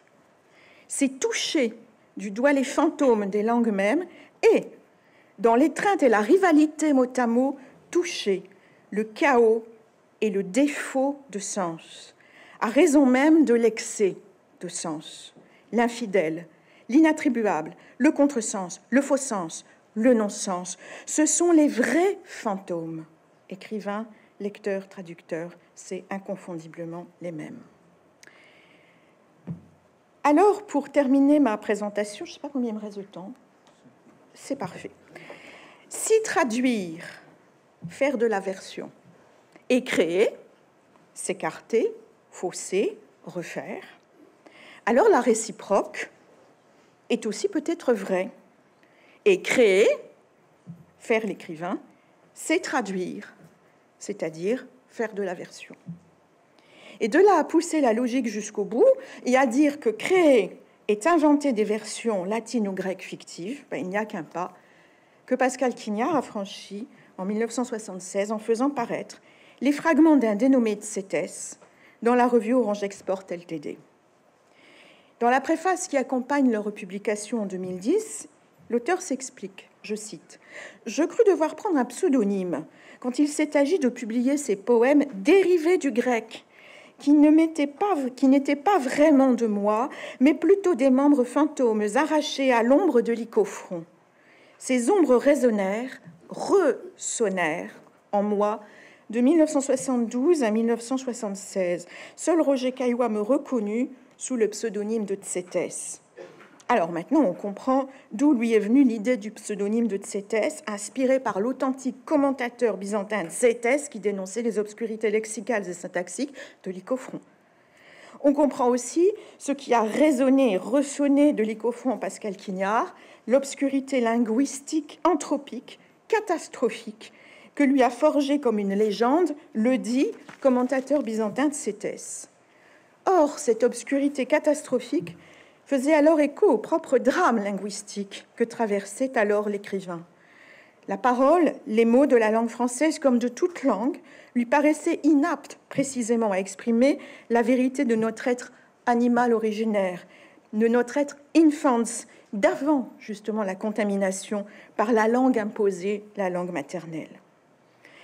Il reste maintenant à mesurer, pour terminer, combien les fragments du pseudo-zétès empruntent à l'obscur lycophron, et c'est le troisième exemple dans la troisième colonne. J'ai pris le fragment 30 exemplaire. Il fait directement écho au premier vers d'Alexandra par la même antéposition en tête de phrase du même verbe dire au futur. Dira peut-être, mais sa beauté, la farine, l'orge sous elle, oui, la fleur jaune de l'orge sous elle, oui, mais sa beauté, non. Car le coffre aux deux flancs de la loutre, lui, qui contient la langue tranchée couleur de la bogue d'automne et que le clou de bronze traverse, vieille, qui sent relativement fort, petite peau de bouche, dans le donjon d'herbe sèche vers mars, les vieilles le jettent en hâte auprès de la borne qui est située à sa droite. Le reste du fragment reprend à l'icofront les complications syntaxiques décrites, dénoncées par le byzantin de Cétès. On est ici particulièrement frappé par l'hyperbate distendu dans le texte original sur 11 lignes euh, entre le COD, le coffre, et le verbe jette dont il dépend, et rappelé juste avant le verbe par euh, le, pronom personnel le. Les vieilles le jettent. L'antéposition du COD avant le verbe dont il dépend et l'hyperbate élargi sont les caractéristiques stylistiques des langues grecques et latines à flexion, mais aussi des torsions virtuoses aimées par les poètes alexandrins, dont précisément Lycophron. Et Quignard en instille dans, le français de son poème la barbarie du grec, ou plutôt du grec aimé obscur de Lycophron. On retrouve aussi le même fonctionnement autoréférentiel du texte. Ce qui est exposé ici est l'impossibilité d'expression dira peut-être non. Au plan de l'énoncé, la cause invoquée est la langue de chair, la langue de peau, tranchée, vieille, qui pue, c'est-à-dire la langue morte, enfermée dans un coffre qui sera jetée à l'oubli. Évidemment ici, la langue linguistique se lève derrière la langue morte pour traduire désormais son impossibilité à transcrire notre expérience vécue. Ainsi, Pascal Quignard crée-t-il, alors j'aurai encore beaucoup de choses à dire, mais je coupe, euh, l'illusion de vers anciens, écrit par un contemporain de tout aussi obscur que lui, et rend-il possible l'effet de forgerie ayant trompé tout le monde, sauf Roger Caillois. Je conclurai en disant qu'il n'est pas question de s'offusquer de la tromperie du lecteur, comme l'ont fait certains collègues radicaux philologues, mais au contraire de mesurer l'intérêt de ces pseudo-fragments. Leur premier, leur premier intérêt est précisément qu'ils aient pu tromper, sanctionnant la réussite d'une forgerie et la survivance possible en plein contemporain du fantôme d'une certaine âme grecque. Leur autre intérêt est qu'ils aient donné à voir traduction, comment la traduction d'une source antique génère chez Pascal Quignard l'envie d'une invention propre. Et sur ce point, euh, on a vu l'essayiste est explicite. Euh, ce sont les fantômes du texte venus de l'Icofront. Cette leçon d'ensemencement, cette leçon de poétique, est soulignée d'ailleurs par la structuration d'ensemble du livre de 2010, qui fait passer de l'Icofront, une traduction, à Tzetes, une fiction de traduction. Ce faisant, Pascal Quignard retrouve un geste fondamental, et c'est là où je voulais en arriver, de la production littéraire latine, largement théorisée par les écrivains romains, et dont il nous permet ici d'apprécier en acte la vérité ou l'actualité. En effet, dans la, la, littérature latine est née de la traduction très libre des œuvres grecques, comme le rappelle Antoine Berman dans la traduction et la lettre ou l'auberge du lointain. Dès ses débuts, la culture romaine est une culture de la traduction. Après la période où les auteurs latins écrivent en grec, vient celle où tout le corpus des textes grecs est traduit. Et cette entreprise de traduction massive est le vrai sol de la littérature latine. Elle s'effectue par l'annexion systématique des textes, des formes, des termes grecs, le tout étant latinisé et d'une certaine façon rendu méconnaissable par ces mélanges. Ainsi, au 1er siècle avant Jésus-Christ, Gallus et surtout Catulle ont traduit Callimaque et Théocrite, et ils ont introduit à Rome les genres mineurs hellénistiques, de l'épélion, de l'élégie, de l'épithalame, de l'épigramme érotique, autoréférentiel notamment ou satirique. Et dans une lettre de 2009, en préface à la réédition d'Inter Aerias Phagos paru chez Argol, Pascal Quignard a résumé ce fonctionnement typiquement latin qui rend compte, selon lui, du processus de toute création littéraire. Je le cite. Il s'agit de tout retraduire, comme Saint Jérôme le fait au désert, retraduisant en latin tout l'Ancien Testament. Le latin, c'est cela dans notre histoire. Le latin, c'est transformer le vieux en nouveau. Ici, Pascal Quignard, on va dire, fait son latin, fait pleinement son auteur latin, en transformant le vieux, le grec, ou les textes latins en nouveau, c'est-à-dire en le poème, en, la langue française contaminée de la syntaxe latino-grecque, des fragments de Zétès. Et ainsi s'inscrit-il avec évidence dans leur lignée directe, dans la lignée directe de ces poètes traducteurs latins, mais à la nuance près, et elle est de taille, que, que ces poètes auteurs latins pensaient pouvoir tout transmettre au prix d'un travail acharné du signifié des textes sources, là où l'auteur moderne aggrave l'écart entre les langues et souligne la perte de l'originel. Je vous remercie pour votre attention. Je reprendrai euh, un motif qui a été soulevé tout à l'heure par Bénédicte Gorillo, qui est euh, le motif précisément de cette sorte de magie de cette sorte d'ancestralité du langage qui vient euh, en quelque sorte créer une tension à l'intérieur des textes de Pascal Quignard. Ce qui nous laissait quoi? C'était précisément ce motif de la mémoire qui soutenait le texte, qui était présent malgré nous et qui venait en quelque sorte créer une forme d'élan, une forme de dynamisme dans l'écriture que l'on ne s'expliquait pas forcément. Lors du siècle des Lumières, précisément, nous l'avons vu tout à l'heure avec euh, l'étude euh, du clair-obscur chez euh, de la Tour, il y a cette forme d'apparition, cette forme de brûlure, cette, cette consommation de ce qu'on appelle le berceau en gravure qui est euh, cette forme neutre, cette surface noire sur euh, laquelle va se découper, va, se dessiner le motif, va se dessiner le symbole. Aussi, la question que je voulais poser, c'était précisément celle-ci. Comment concilier finalement ces deux éléments? Comment concilier cette obscurité face à laquelle nous faisons face? Oui, c'est français. à laquelle nous faisons face, plutôt, excusez-moi.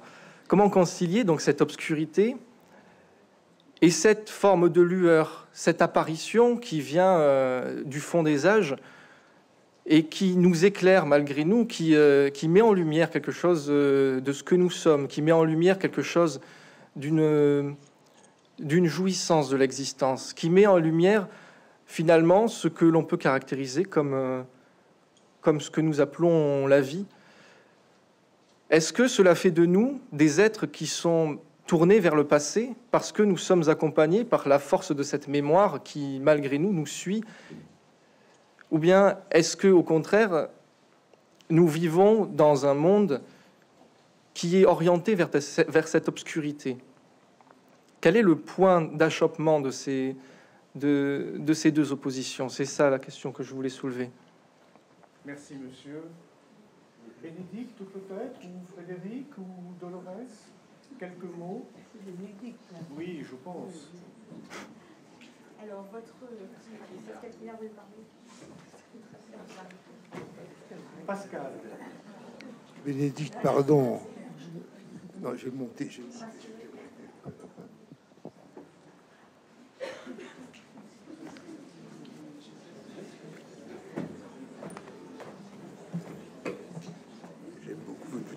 le droit de prendre votre petit carnet. Oui, bien sûr.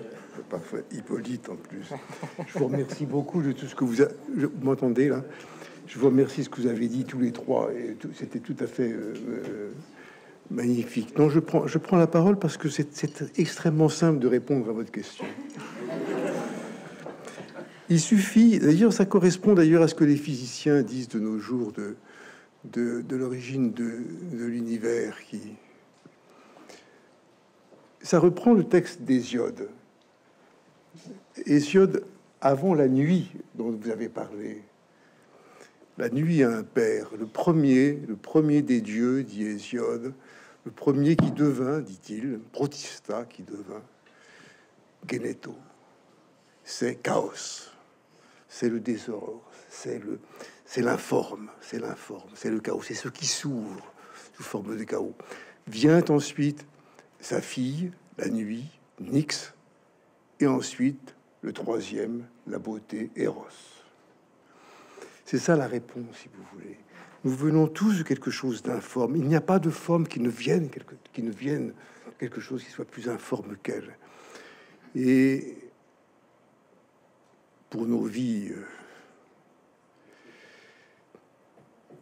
c'est tellement loin de la philosophie ce que je vais dire mais c'est que nous venons de quelque chose de très inorganique et nous tombons dans quelque chose d'inorganique. Et politiquement, c'est un peu ce qui arrive de nos jours aussi. Comme nous l'avons fait tout à l'heure, c'est quasiment maintenant un rituel. Je vais appeler Madame Pauline Oden. Sur les évolutions des acrobates, le bonheur des amoureux, les quêtes de leurs désirs, les danseurs du temps, l'extase qui les porte, l'arc bandé et le cri étrange qui l'a conclu. Il y a une connivence virtuose des corps quand ils désirent, qui les fait parvenir à peu près à l'état de céleste. Ils s'envoyaient en l'air. Si le paradis a des habitants, ce sont les acrobates. Le septième ciel où ils volent et tournoient comme des oiseaux dans le ciel, des écureuils sur le tronc des arbres, des cabris sur la paroi toute blanche de neige de la montagne. La crainte de tomber et de mourir excite l'âme ou l'invente. Il y a une joie d'abîme dans les caprices des cabris. Pascal Quignard, Paradisiaque.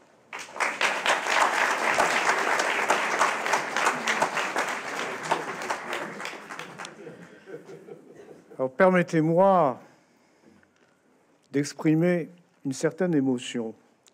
c'est avec un très vif plaisir que j'accueille à Station Ozone Dominique Rabaté, qui est professeur des universités en poste à l'université Denis Diderot Paris 7, un établissement qui m'est cher pour mille raisons, à commencer par celle-ci. Dominique et moi, nous y avons soutenu l'un et l'autre notre thèse sous la direction de Madame Marie-Claire Dumas.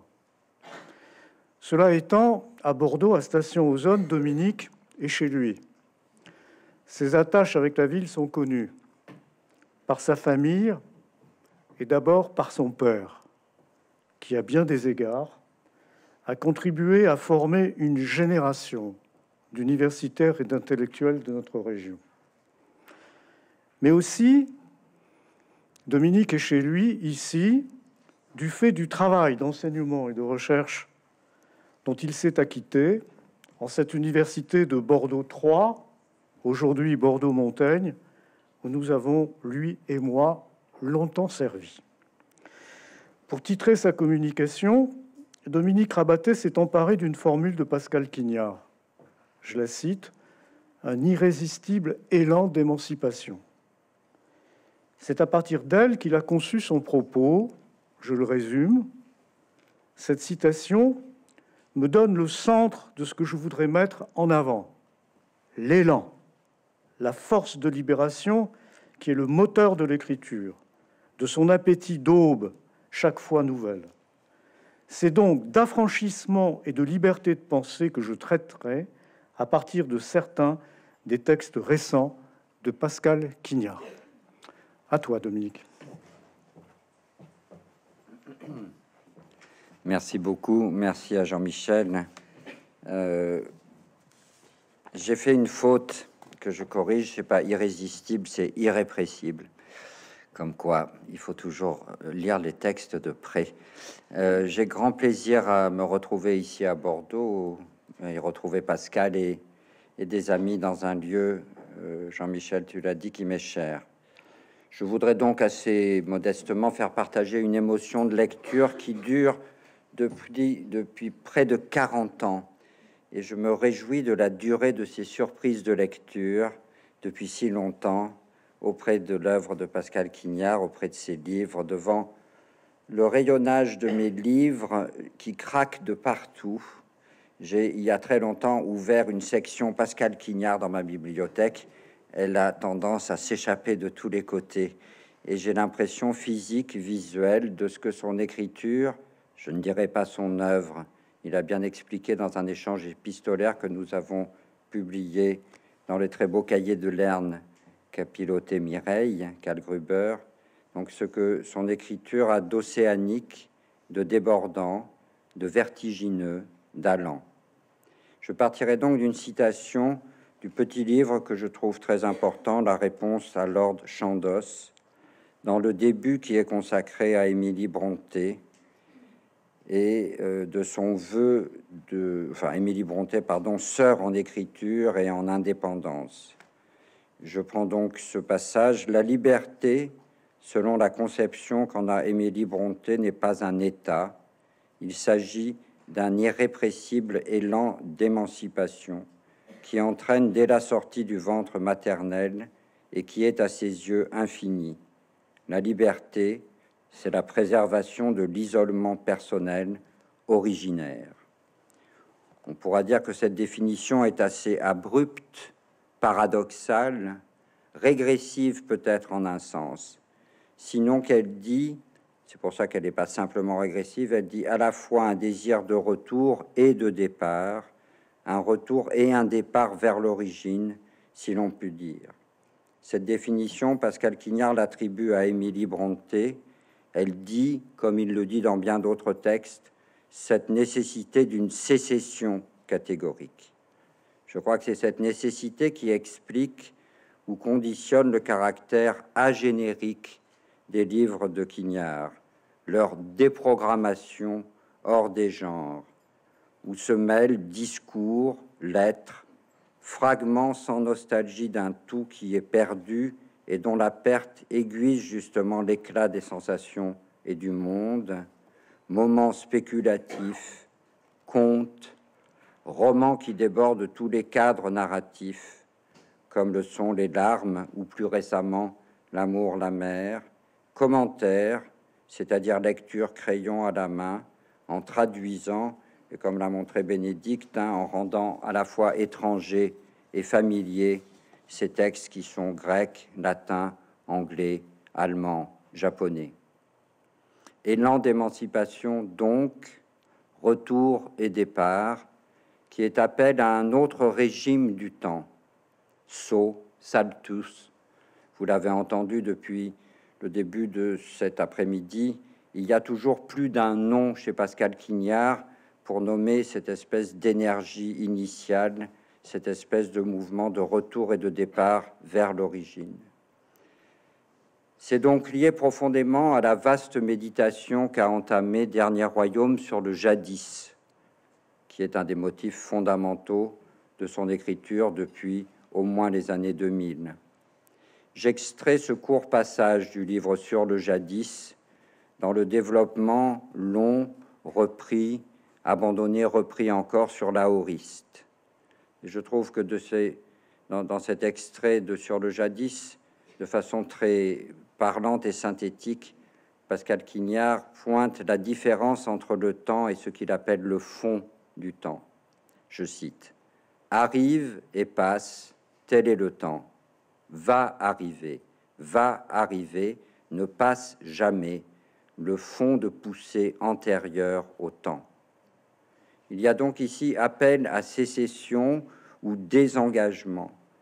Mais je crois que cette injonction est absolument euh, personnelle, d'une certaine manière inimitable. C'est celle d'Émilie Bronté, c'est celle de Pascal Quignard. Inimitable ne voulant pas dire pas exemplaire, mais je crois que cet euh, appel à la sécession fait toujours fond sur une position dépressive qu'il faut à la fois renverser et accueillir. Cet appel à la cessation, au désengagement, à vivre dans la, est un appel finalement à vivre dans la conscience aiguisée du renouveau. Il s'agit de congédier la nostalgie, d'interdire la dépression. Car je cite un autre fragment de Sur le jadis, car L'aoriste pur signifie plus de dépression nerveuse possible. Chaque instant du temps est un lieu où on ne revient pas, le regret se disperse. Il me semble qu'ainsi l'écriture, chez Pascal Quignard, pour son lecteur, est ce surmontement de l'impuissance, de l'essolement ou de la déréliction qu'éprouve tout être humain par une décision de mise au silence de la langue sociale. Retournement, si l'on veut, sur lequel je voudrais m'arrêter en reprenant l'argument que je crois capital de la réponse que Pascal Quignard imagine faite par Bacon à Chandos ou que Quignard adresse à Hofmannsthal. Cette lettre de Lord Chandos, qui est devenue une sorte de bréviaire de la modernité au seuil du XXe siècle, ce texte écrit en 1901, qui, d'une certaine manière, fait l'épreuve du mutisme, ou plutôt dit la tentation ou le piège d'un impossible dont la modernité a hérité pour presque un siècle.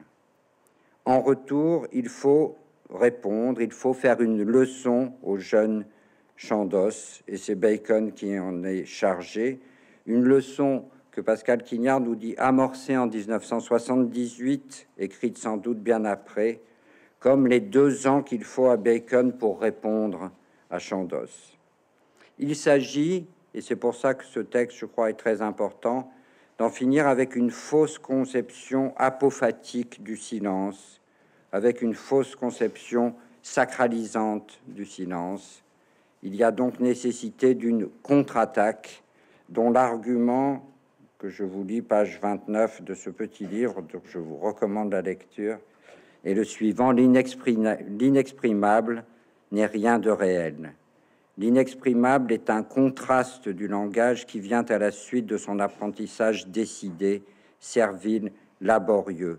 Mais l'amont du, du langage n'est pas le silence. Écoutez les oiseaux dans l'aube, écoutez les enfants avant qu'ils apprennent à parler. Il s'agit donc de faire entendre que la régression à l'aphonie du premier monde est une chimère, ou peut-être même plutôt une erreur. Ce qui me touche dans ce texte, la réponse à Lord Chandos, c'est comme dans le texte sur euh, la bruyère et la gêne technique à l'égard du fragment, ce, que j'y entends de polémique interne, mais de cette rupture qui est nécessaire. Hein. En vérité, ce que dit Chandos dans la lettre d'Hoffmannsthal marque et prouve une impuissance, une dérobade devant l'afflux toujours neuf, toujours vivant, toujours criant du monde. Et je lis page 37. L'âme doit être mise au propre par la vieille détresse vitale natale. C'est son cri qu'il faut restaurer et non pas son silence. C'est une sorte de jeûne qu'il lui faut, c'est-à-dire le contraire de l'omission ou de la dénégation ou de la taciturnité ou de la pudicité ou de l'oubli. Il lui faut le rappel de sa fin, il faut qu'elle hante.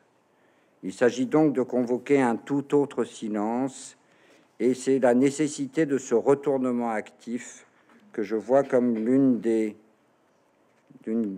l'un des dons que nous fait euh, Pascal Quignard dans son écriture. Il écrit ainsi un peu plus loin Jamais vous ne serez silencieux dans la mélancolie la plus noire, obscure, vide, si on veut survivre.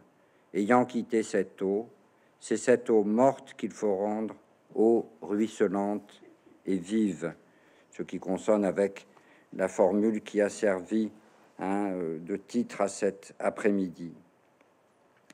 Excusez cette glose ou ce montage de citations, mais ce que je crois très important dans ce petit texte, la réponse à Lord Chandos, c'est ce geste d'accueil et d'héritage d'une certaine modernité, puisque Bacon sait entendre la force et la beauté du texte de Chandos, Quignard du texte d'Hoffmannsthal, même s'il la déplace au XVIIe siècle.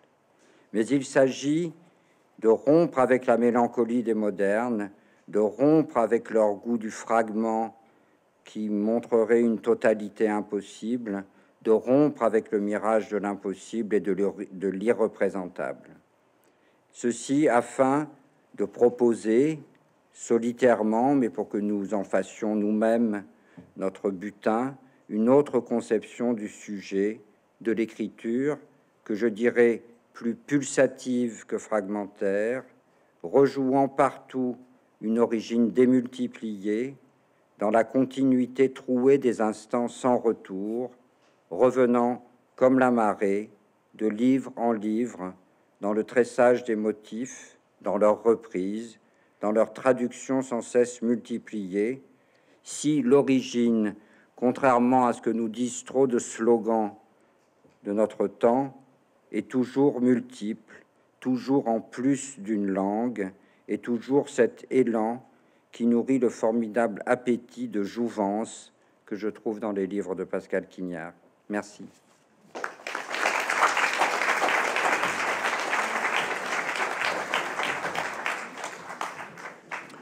Merci à Dominique euh, Rabaté pour euh, cette communication concise mais particulièrement dense. J'appelle Madame Claire Pess.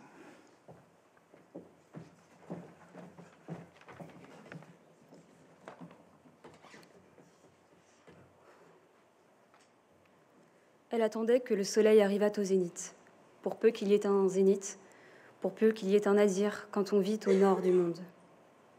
Dès que la cloche de la chapelle tintait, elle sortait de la cabane, tout effilée, musclée, nue, brûlante, enveloppée de vapeur, courait, plongeait, nageait. Elle aimait tous ces états de l'eau, leurs formes particulières et merveilleuses, vapeur, nuée, glace, neige, pluie, lac, source. Elle aimait l'eau vivante.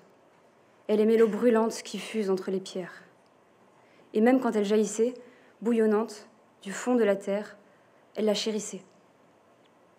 Et même l'embrun chaud qui la survole et qui couvre le front, le nez, les yeux, aussitôt qu'on se penche vers sa résurgence. Chaque matinée se terminait dans la cabane, cabane des bouleaux à demi enterrée dans la terre, couverte de feuillage, emplie de bois frais et d'écorces qui pètent, couverte de bourrelets de neige. Chaque matinée se terminait avec ce corps de femme nue, brûlante, ardente, qui montait sur la roche. Alors, face à la banquise si pure, si blanche, au loin, lançant ses bras, elle plongeait dans la mer. Pascal Quignard, L'amour, la mer.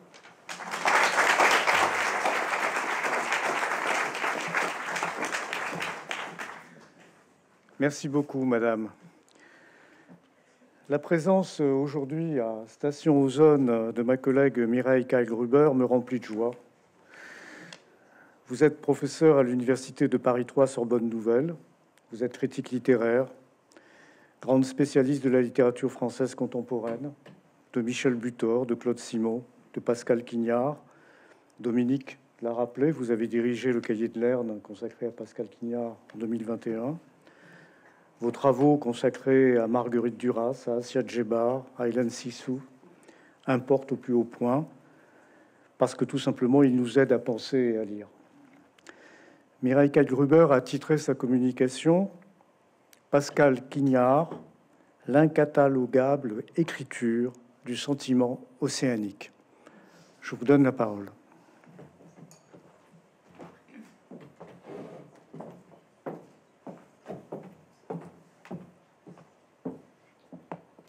Merci. Peu importe les genres, me dit Pascal Quignard, répondant à ma curiosité de savoir ce que vous a apporté Claude Simon. On ne sait jamais ce qu'on fait, on y va, on s'implique, on se précipite vers ce qu'on ignore. J'ai passé ma vie à suivre ce que j'écrivais. Poésie, roman, essai, conte, traité, fiction, non-narration, peu importe.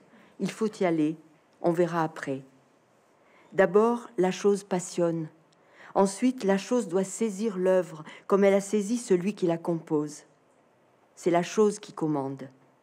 Alors bien sûr, on est réputé trop difficile, incatalogable. Je trouve qu'il est normal que la réception de ce qui est incatalogable ne soit pas franchement tendre.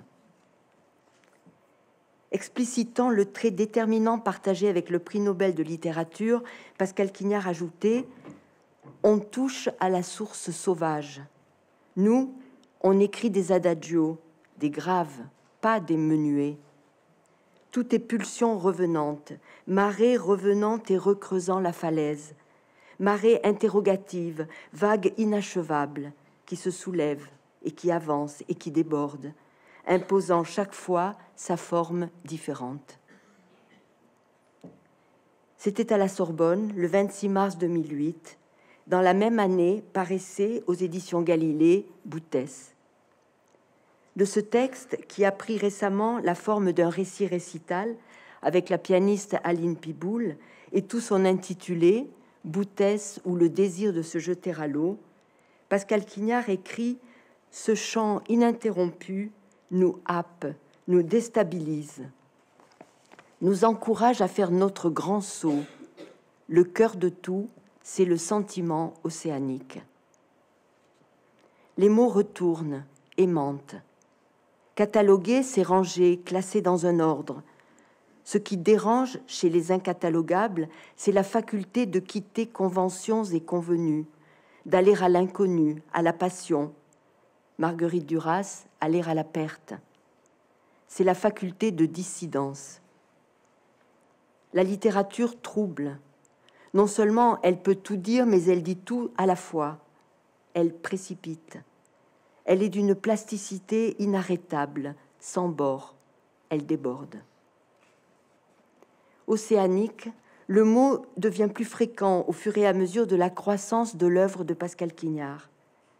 La crue de Dernier Royaume est océanique, comme l'est la pousse de toute nature.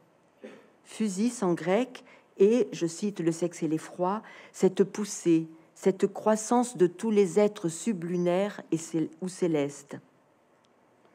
Océanique est l'élan qui jette soudain Boutès dans le désir de plonger à l'appel du chant des sirènes, qui sont femmes oiseaux, ou plutôt de plonger dans l'énigme de l'élan qui saisit et devient des formes qu'on ne peut voir ni avoir.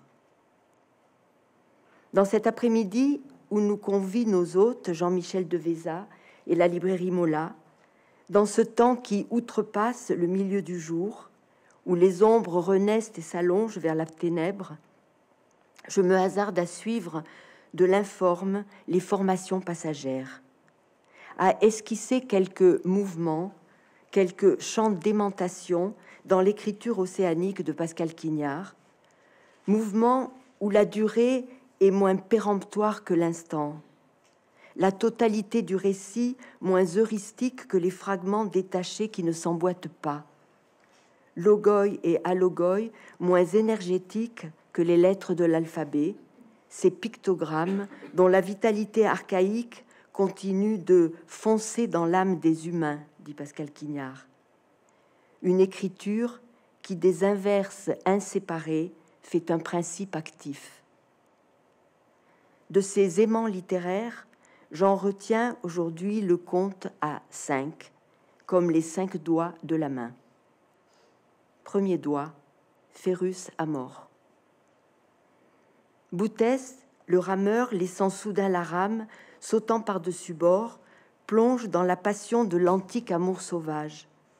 Une passion inhumaine, telle, dans l'homme aux trois lettres, telle un fléau météorologique, une vague tsunamique, océanique. Férus à mort, disaient les anciens, l'amour en sauvage, celle qui aime comme une bête féroce. Il submerge celui qui aime comme un océan déchaîné et sans fond. Le sauvage et le solitaire, la force du surgissant, imprévisible, qui devance morphée, forme, et format, beauté, qui devance jusqu'à l'idée de cause. C'est cette morphogenèse inactuelle, inopinée, inassignée que la phrase doit voir à saisir.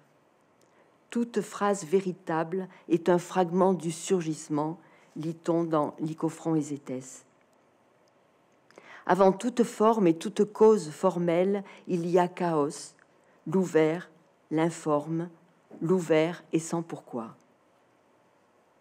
Océanique est l'amour qui appartient à plus d'un corps, qui est en soi à l'autre, à l'autre de l'autre, plus infini que soi et tellement plus inconnu.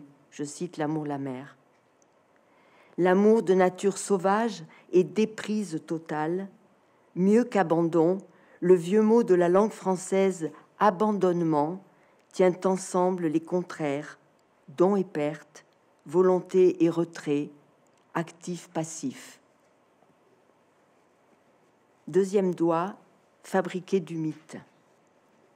Pascal Quignard ne fabrique, pas un mythe, il fabrique du mythe, tout un univers de voix, de gestes, d'images qui sortent du temps qui se tiennent sur le promontoire, probléma en grec, de l'expériment de lecture-écriture et s'élancent comme le plongeur du, du navire Argo, comme le musicien Froberger qui plonge dans ses improvisations extemporaires, ou comme l'écrivain qui se jette dans la littérature, ce mot qui est sans origine, dit Benveniste, et fouille les grands fonds de la langue. Le récit de Pascal Quignard a le pas épique. Accueillant, il marche avec, entraînant toutes les créatures du monde. Les personnages sont aussi présence iconique, peinture de Beaugin, portrait gravé de Marie Edel, figure onirique, mêlant représentation historique et fictive, ligne mélodique, mélose du pur chant sans harmonie pour Boutès, nocturne en ut mineure de Chopin pour les solidarités mystérieuses. Ils portent avec eux une histoire et des paysages que le texte ramène en ressac et qui les fait plus grands qu'eux-mêmes, nous fait, nous, lecteurs, plus grands que nous. L'espace mythique chez Quignard est poreux, traversable, travaillé par la grammaire spéculative et visionnaire de la prosodie telle la parataxe, ouvrant dans l'interstice entre les mots des arrière-mondes qui surgissent en ombre blanche. Et je veux citer ici un passage de L'amour la mer. Alors il s'élance, car il suffit d'un sourire pour s'élancer. Il monte, il gravit, il court sur les marches. Quand il se touche les mains, au même moment, les larmes humectent le bord de leurs yeux. Quatre grands-parents, deux joueurs, une seule partie, mille larmes, telle est l'étreinte en chaque étreinte. Maintenant, leurs larmes coulent sur leurs joues sans qu'ils les essuient. Elles coulent, elles coulent, elles ruissellent. Une seule et unique partie perdue, perdue, perdue, toujours perdue. Toujours tellement perdue, puisqu'elle n'a qu'une porte qui s'ouvre sur la mort. Il n'y a plus qu'une marche qui les sépare, puisque tel est le désir. C'est une marche, une simple marche. Elle est si difficile à gravir. Par un effet de cut-up, phrases, syntagmes, mots sont des tesselles qui ne s'ajointent pas et dans ce jeu glisse une temporalité indéterminée. Le texte s'évase, s'évade, fait mer de toutes parts, fait amour, fait mort de toutes parts. Une rencontre, et c'est toutes les rencontres, pénétrées d'infini, chaque élément jaillit d'un fond d'éternité. Revenir en arrière pour s'élancer plus loin sur l'horizon. De livre en livre, Pascal Quignard reprend ses motifs en un embrassement qui les projette avec l'ardeur du devenir. Troisième doigt, énonciodromia, reliaison, revenu des morts. Les aimants du texte maintiennent toute chose dans la dynamique de la polarité et non. Les images, les significations vont et viennent et s'effacent. C'est l'énonciodromia d'Héraclite, je cite Mourir de penser, une course qui revient sur ses pas, le mouvement en sens contraire, où tout est réversible, mais le retour ne revient jamais au même. Les séparés ne se séparent pas, la vie reflue qui continue de se jeter en vain dans ses eaux premières, comme le mouvement mascaré du fleuve retroussé au moment qu'il se jette à la mer, comme l'écriture mascarée qui avance en se retournant sur ses pieds lettrés. Il y va de la tension entre liaison et reliaison, entre pulmonation et rythme cardiaque. Reliaison, dans Boutès, désigne la pensée, je cite le texte, ce qui relie les absents, les mots, les arguments, les impressions, les souvenirs, les images. Telle la structure des chapitres et sections dont les intitulés rythment les flux du corps émotionnel, ou tel le soin des enjambements, comme on le dit des vers d'un poème lorsque la syntaxe déborde sur le maître, de l'ekphrasis à la scène, de la scène au fantasme, d'un point de vue à un autre, d'une action à un arrêt sur image. Cependant que le phrasé se love en archiphrase, fait pli sur pli écolalique, regardant, je cite l'amour la mer, quelques expressions, s'étendre l'étendue, ce qu'attendait l'attente, l'espace qui s'invente lui-même à l'intérieur de l'espace, un rêve décidé par un rêve. Le motif du se reconnaître des amants qui se sont, autrefois quittés dans l'amour la mer présente l'intense beauté de ce discours extrême.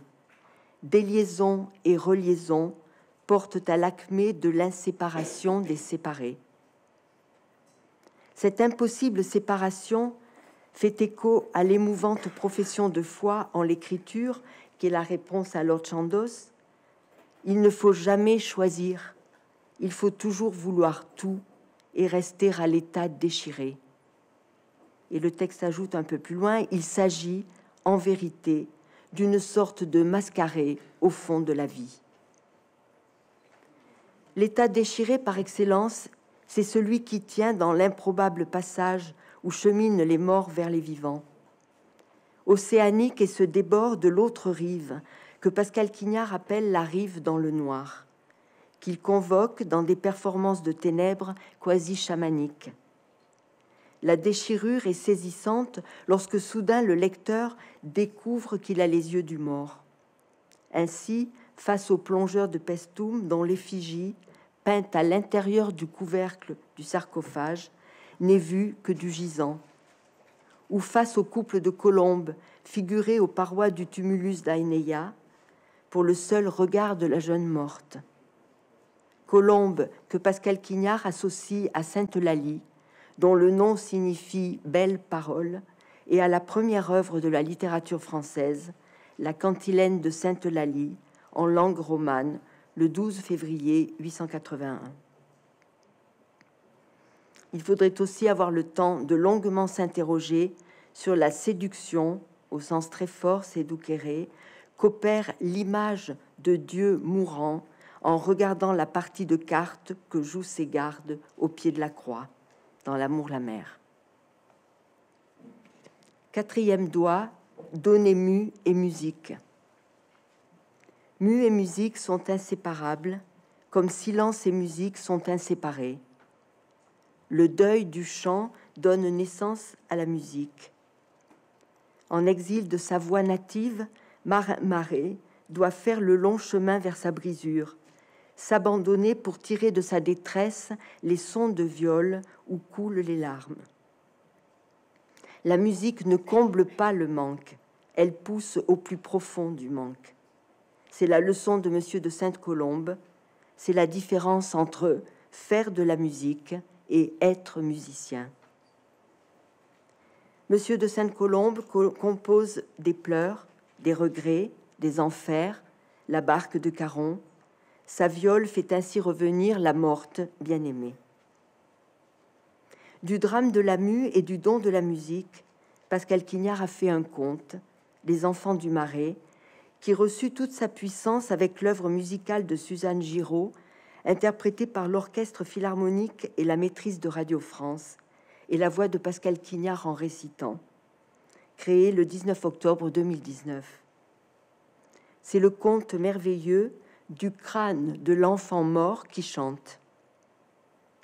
Sur fond de guerre de religion au XVIe siècle à Paris, deux enfants chanteurs rivalisent, Bernon l'enfant, protestant, à la voix sublime, et Marcelin le beau palaiseau, catholique, dont la voix sublime est proche de muet. Le palaiseau tue l'enfant, mais son crâne à la voix non muet continue de chanter Je ne suis pas mort, je suis disparu, et appelle vengeance. La partition musicale de Suzanne Giraud fait entendre toutes les voix non réunies. Rien n'est réparé, rien n'est compensé, mais tout est donné ensemble dans le déchirement. La mue se mue en métamorphoses infinies. La mue, c'est le tremblement au cœur de la musique. Le conte se prolonge, stase finale sur l'ouvert cosmique, le récitant disant Nous n'entendons pas le souffle de la terre qui tourne. Chaque fois que Pascal Quignard donne un récit récital reliant littérature et musique, il ajoute une corde à la langue de l'écriture. Cinquième doigt, la main heureuse. Die glückliche Hand, la main heureuse, est le titre d'un livret et d'une composition d'Arnold Schoenberg. Lors d'une conférence à Breslau en 1928, il présentait ainsi son œuvre, je cite, Une main heureuse agit à l'extérieur loin de notre moi bien protégé. Plus elle agit loin, plus elle est loin de nous. Une main heureuse, plus loin, n'est que doigts heureux, un bonheur au bout des doigts. Heureuse la main qui essaie de saisir ce qui ne peut que lui échapper quand elle le tient. Tel est le mouvement de dépropriation qui est au principe des épiphanies de Pascal Quignard, où le récit bat et rebat les cartes, les distribue selon des règles qu'on ne découvre qu'en jouant. Passe, à l'insu toujours, le mistigris du texte.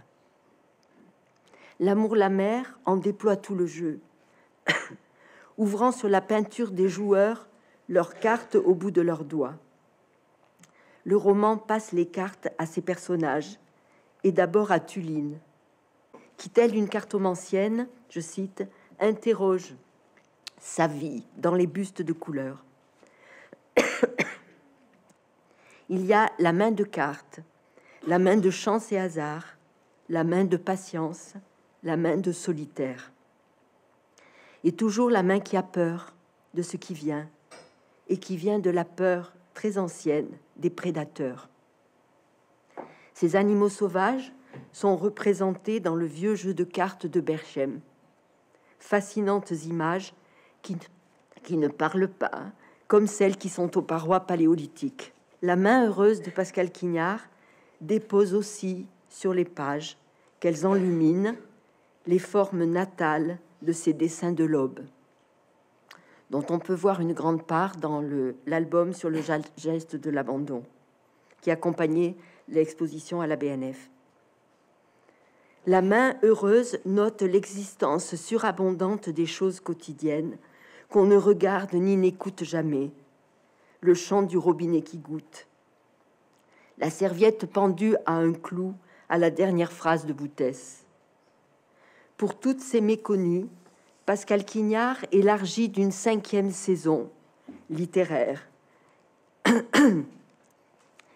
le cycle planétaire et les mots sont tout à la saisie de la poussière invincible qui tombe des étoiles, dessinant autour des visages, choses et êtres, le nimbe qui les sacralise d'une fine ligne d'or. Ce sont des lignes de l'amour la mer. Point d'orgue sur deux images de ce qui ne cesse pas. L'une de ces images est médicale. Elle touche à, comment dire, la naissance de la mort, la mort d'une naissance. Pascal Quignard évoque dans le cahier de Lerne son bouleversement face aux images échographiques du petit film de François Farge, où l'on voit dans la poche placentaire un jumeau mourir, ou plutôt s'effacer, s'anéantir. La forme disparaît dans le mystère de la matière matrice sans laisser trace, sans même le souvenir du frère qu'il a cherché dans l'eau amniotique et qui, seul à la naissance, croira qu'il est unique. L'autre image est littéraire. Dans la dernière page de L'homme aux trois lettres, consacrée à une interprétation des hauts de Hurlevent, l'espace d'une catacrèse et d'une syncope, on entrevoit la forme de l'âme. Je cite le jour même où elle est enterrée, au cœur de la nuit, alors que la neige tombe par rafales, Heathcliff, survivant, allongé sur la pierre, désespéré, est immobile. Alors qu'il est étendu de tout son long sur la tombe de sa morte, tout à coup, il se lève. Il prend une bêche. Il creuse dans la neige. Il perce le froid glacial de la couche de terre. Il touche le cercueil où Cathy est enfermée. Il croit qu'il entend un soupir, euh, un souffle impossible qui monte de la terre. Il a l'impression qu'elle revient sur terre, qu'elle se tient à ses côtés, qu'elle l'accompagne. Son âme s'apaise car l'esprit de la morte est là, auprès de lui, avec lui. Il se redresse. Il range la bêche dans l'abri il semble qu'il s'en aille seul dans le sentier, sur la lande, dans la neige. Ils s'en vont tous les deux dans la nuit et la neige. Océaniques sont les questions qui continuent de battre avec le battement cardiaque. De quelle mort sommes-nous les vivants? De quelle réalité es-tu la fabrique? De quelle réalité es-tu le rêve?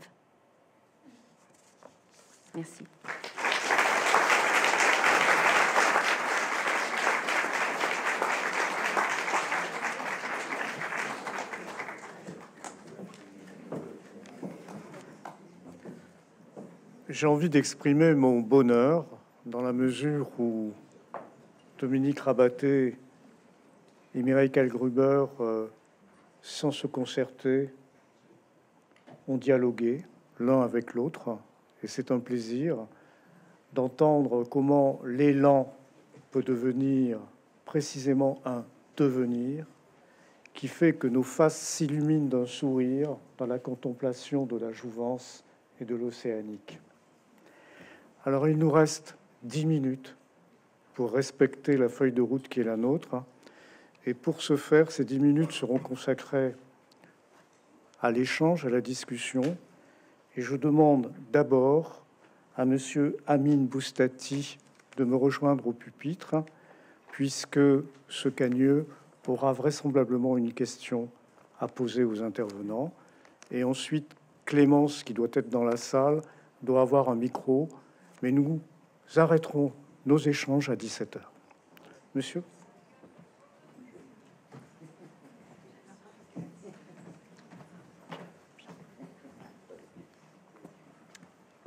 Est-ce qu'on m'entend Il a été évoqué euh, dans cette dernière présentation le caractère océanique de l'écriture, le caractère potentiellement océanique, mais le caractère certainement océanique des œuvres de Pascal Quignard, et aussi la capacité de la littérature, et je crois par extension de l'écriture, à pouvoir tout dire, en tout cas aujourd'hui. Dès lors, ma question sera la suivante. Dans un monde dans lequel la littérature peut tout dire, y a-t-il encore une place dans cette même littérature aujourd'hui pour l'indicible, pour ce qui ne peut être dit, pour ce qui est à l'image des tableaux de Georges Latour, Derrière la flamme? Merci, monsieur. Pascal, souhaitez-vous dire un mot?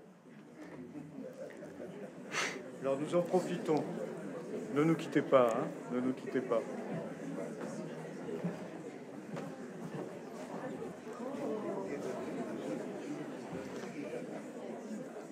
Je, je, peux, je peux. Est-ce que l'on m'entend comme vous ou pas? Oui. je peux. M'entend. Je veux remercier mes amis, bien sûr.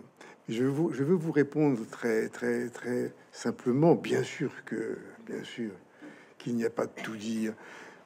Même j'ai eu, j'ai rencontré une difficulté pour un, un, tome suivant que je ne pourrais pas écrire de Dernier Royaume parce que est morte, euh, comment dire, cette année, une très grande psychanalyste qui s'appelait Geneviève Hague. Il n'y a pas de tout dire, mais plus que ça, on ne peut dire même peut-être les hommes que la moitié de ce qui peut être dit, les femmes que la moitié de ce qu'elles peuvent éprouver. Il, y a une différence sexuelle, il y a quelque chose qui fait que nous sommes incapables de tout dire. Il faut être, il faut être fou, fou comment dire, comme comme quelqu'un comme ça, ou comme certains, certains écrivains qui ont cru qu'ils pouvaient, comment dire, dire tout, pour, dire l'universel. Il n'y a pas d'universel. Même les plantes, même les arbres, bien sûr les oiseaux, bien sûr les hommes et les femmes sont divisés. On ne peut pas, comment dire, prétendre éprouver la, jouissance, ce que l'autre sexe peut éprouver. Ça, nous échappera toujours. Vous comprenez ce que je veux dire? Il n'y a pas de tout dire. N'ayez pas peur. La littérature restera dans, dans la moitié du dire. Voilà ce que je voulais dire à notre avis.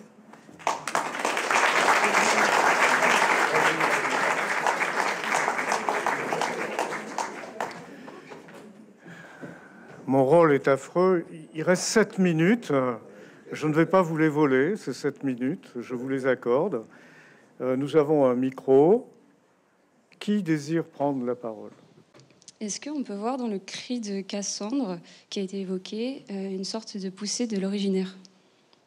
Dans la mythologie, euh, comment dire, actuelle, quelque chose très intéressante.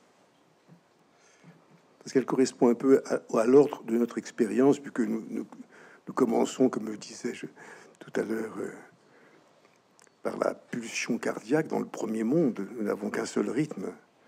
Nous ne sommes qu'audition et audition passive. Nous n'avons pas le souffle. Nous ne pouvons pas nous exprimer. Nous ne pouvons pas crier pour répondre à la question.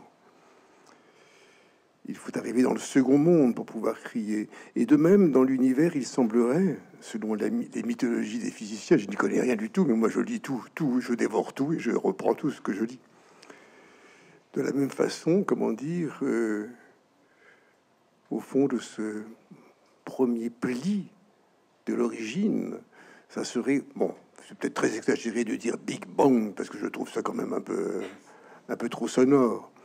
Mais en tout cas, bien avant la lumière, bien avant l'espace, il y aurait une espèce de son, de pli de son, dont on trouverait les vestiges dans les étoiles, dans le ciel. Alors, est-ce est le cri de Cassandre euh, Non, parce que Cassandre croit dire la vérité. Je ne pense pas que l'univers croit dire qu'il est ni la vérité. Mais en tout cas, il y a une sorte de cri avant. Une sorte de cri, oui. C'est ce que disait, comment dire, mon ami euh, Dominique Rabaté en disant qu'il y avait en effet quelque chose qui n'est pas de l'ordre du silence, de l'ordre mystique, de l'ordre d'une divinité qui se tairait. Il y a quelque chose de l'ordre, euh, il y a un bruissement, de même, comment dire, euh, pour qui? Alors qu'il n'y avait pas d'individus vertébrés, qu'il n'y avait pas d'animaux, qu'il n'y avait pas d'oiseaux ni rien, qu'il n'y avait pour qui pouvait sonner le rugissement invraisemblable de la mer, la mer qui est là avant la vie. Comment leur qui pour, c'était c'était un bruit pour rien. C'est peut-être ça que vous voulez dire, ce bruit océanique précisément de la mer, avant même que les terres se soient élevées du fond de l'océan et que la vie soit apparue. Je vous remercie beaucoup pour votre très belle formule, un bruit pour rien. Dolores Lyotard, on va vous passer le micro pour que la salle puisse vous entendre et vous écouter. Euh, bien sûr, parce que nous avons insisté beaucoup sur euh, cette énigme de l'origine et ce remuement, je dirais, pour rien d'un monde qui naît. Euh, je me demande si en même temps il ne faut pas dire que la puissance et la beauté de l'œuvre de Pascal Quignard tient à cette pression d'un travail sur l'agonie. Il y a cette agonir c'est un mot qu'il a mis à, l'infinitif presque, qu'il a travaillé euh, dans, je crois, comme euh, peu d'écrivains l'ont fait, dans ses excès, dans sa fureur. Et, là, j'avais envie de dire cela pour euh, donner un timbre plus noir au chaos des jaillir. Voilà.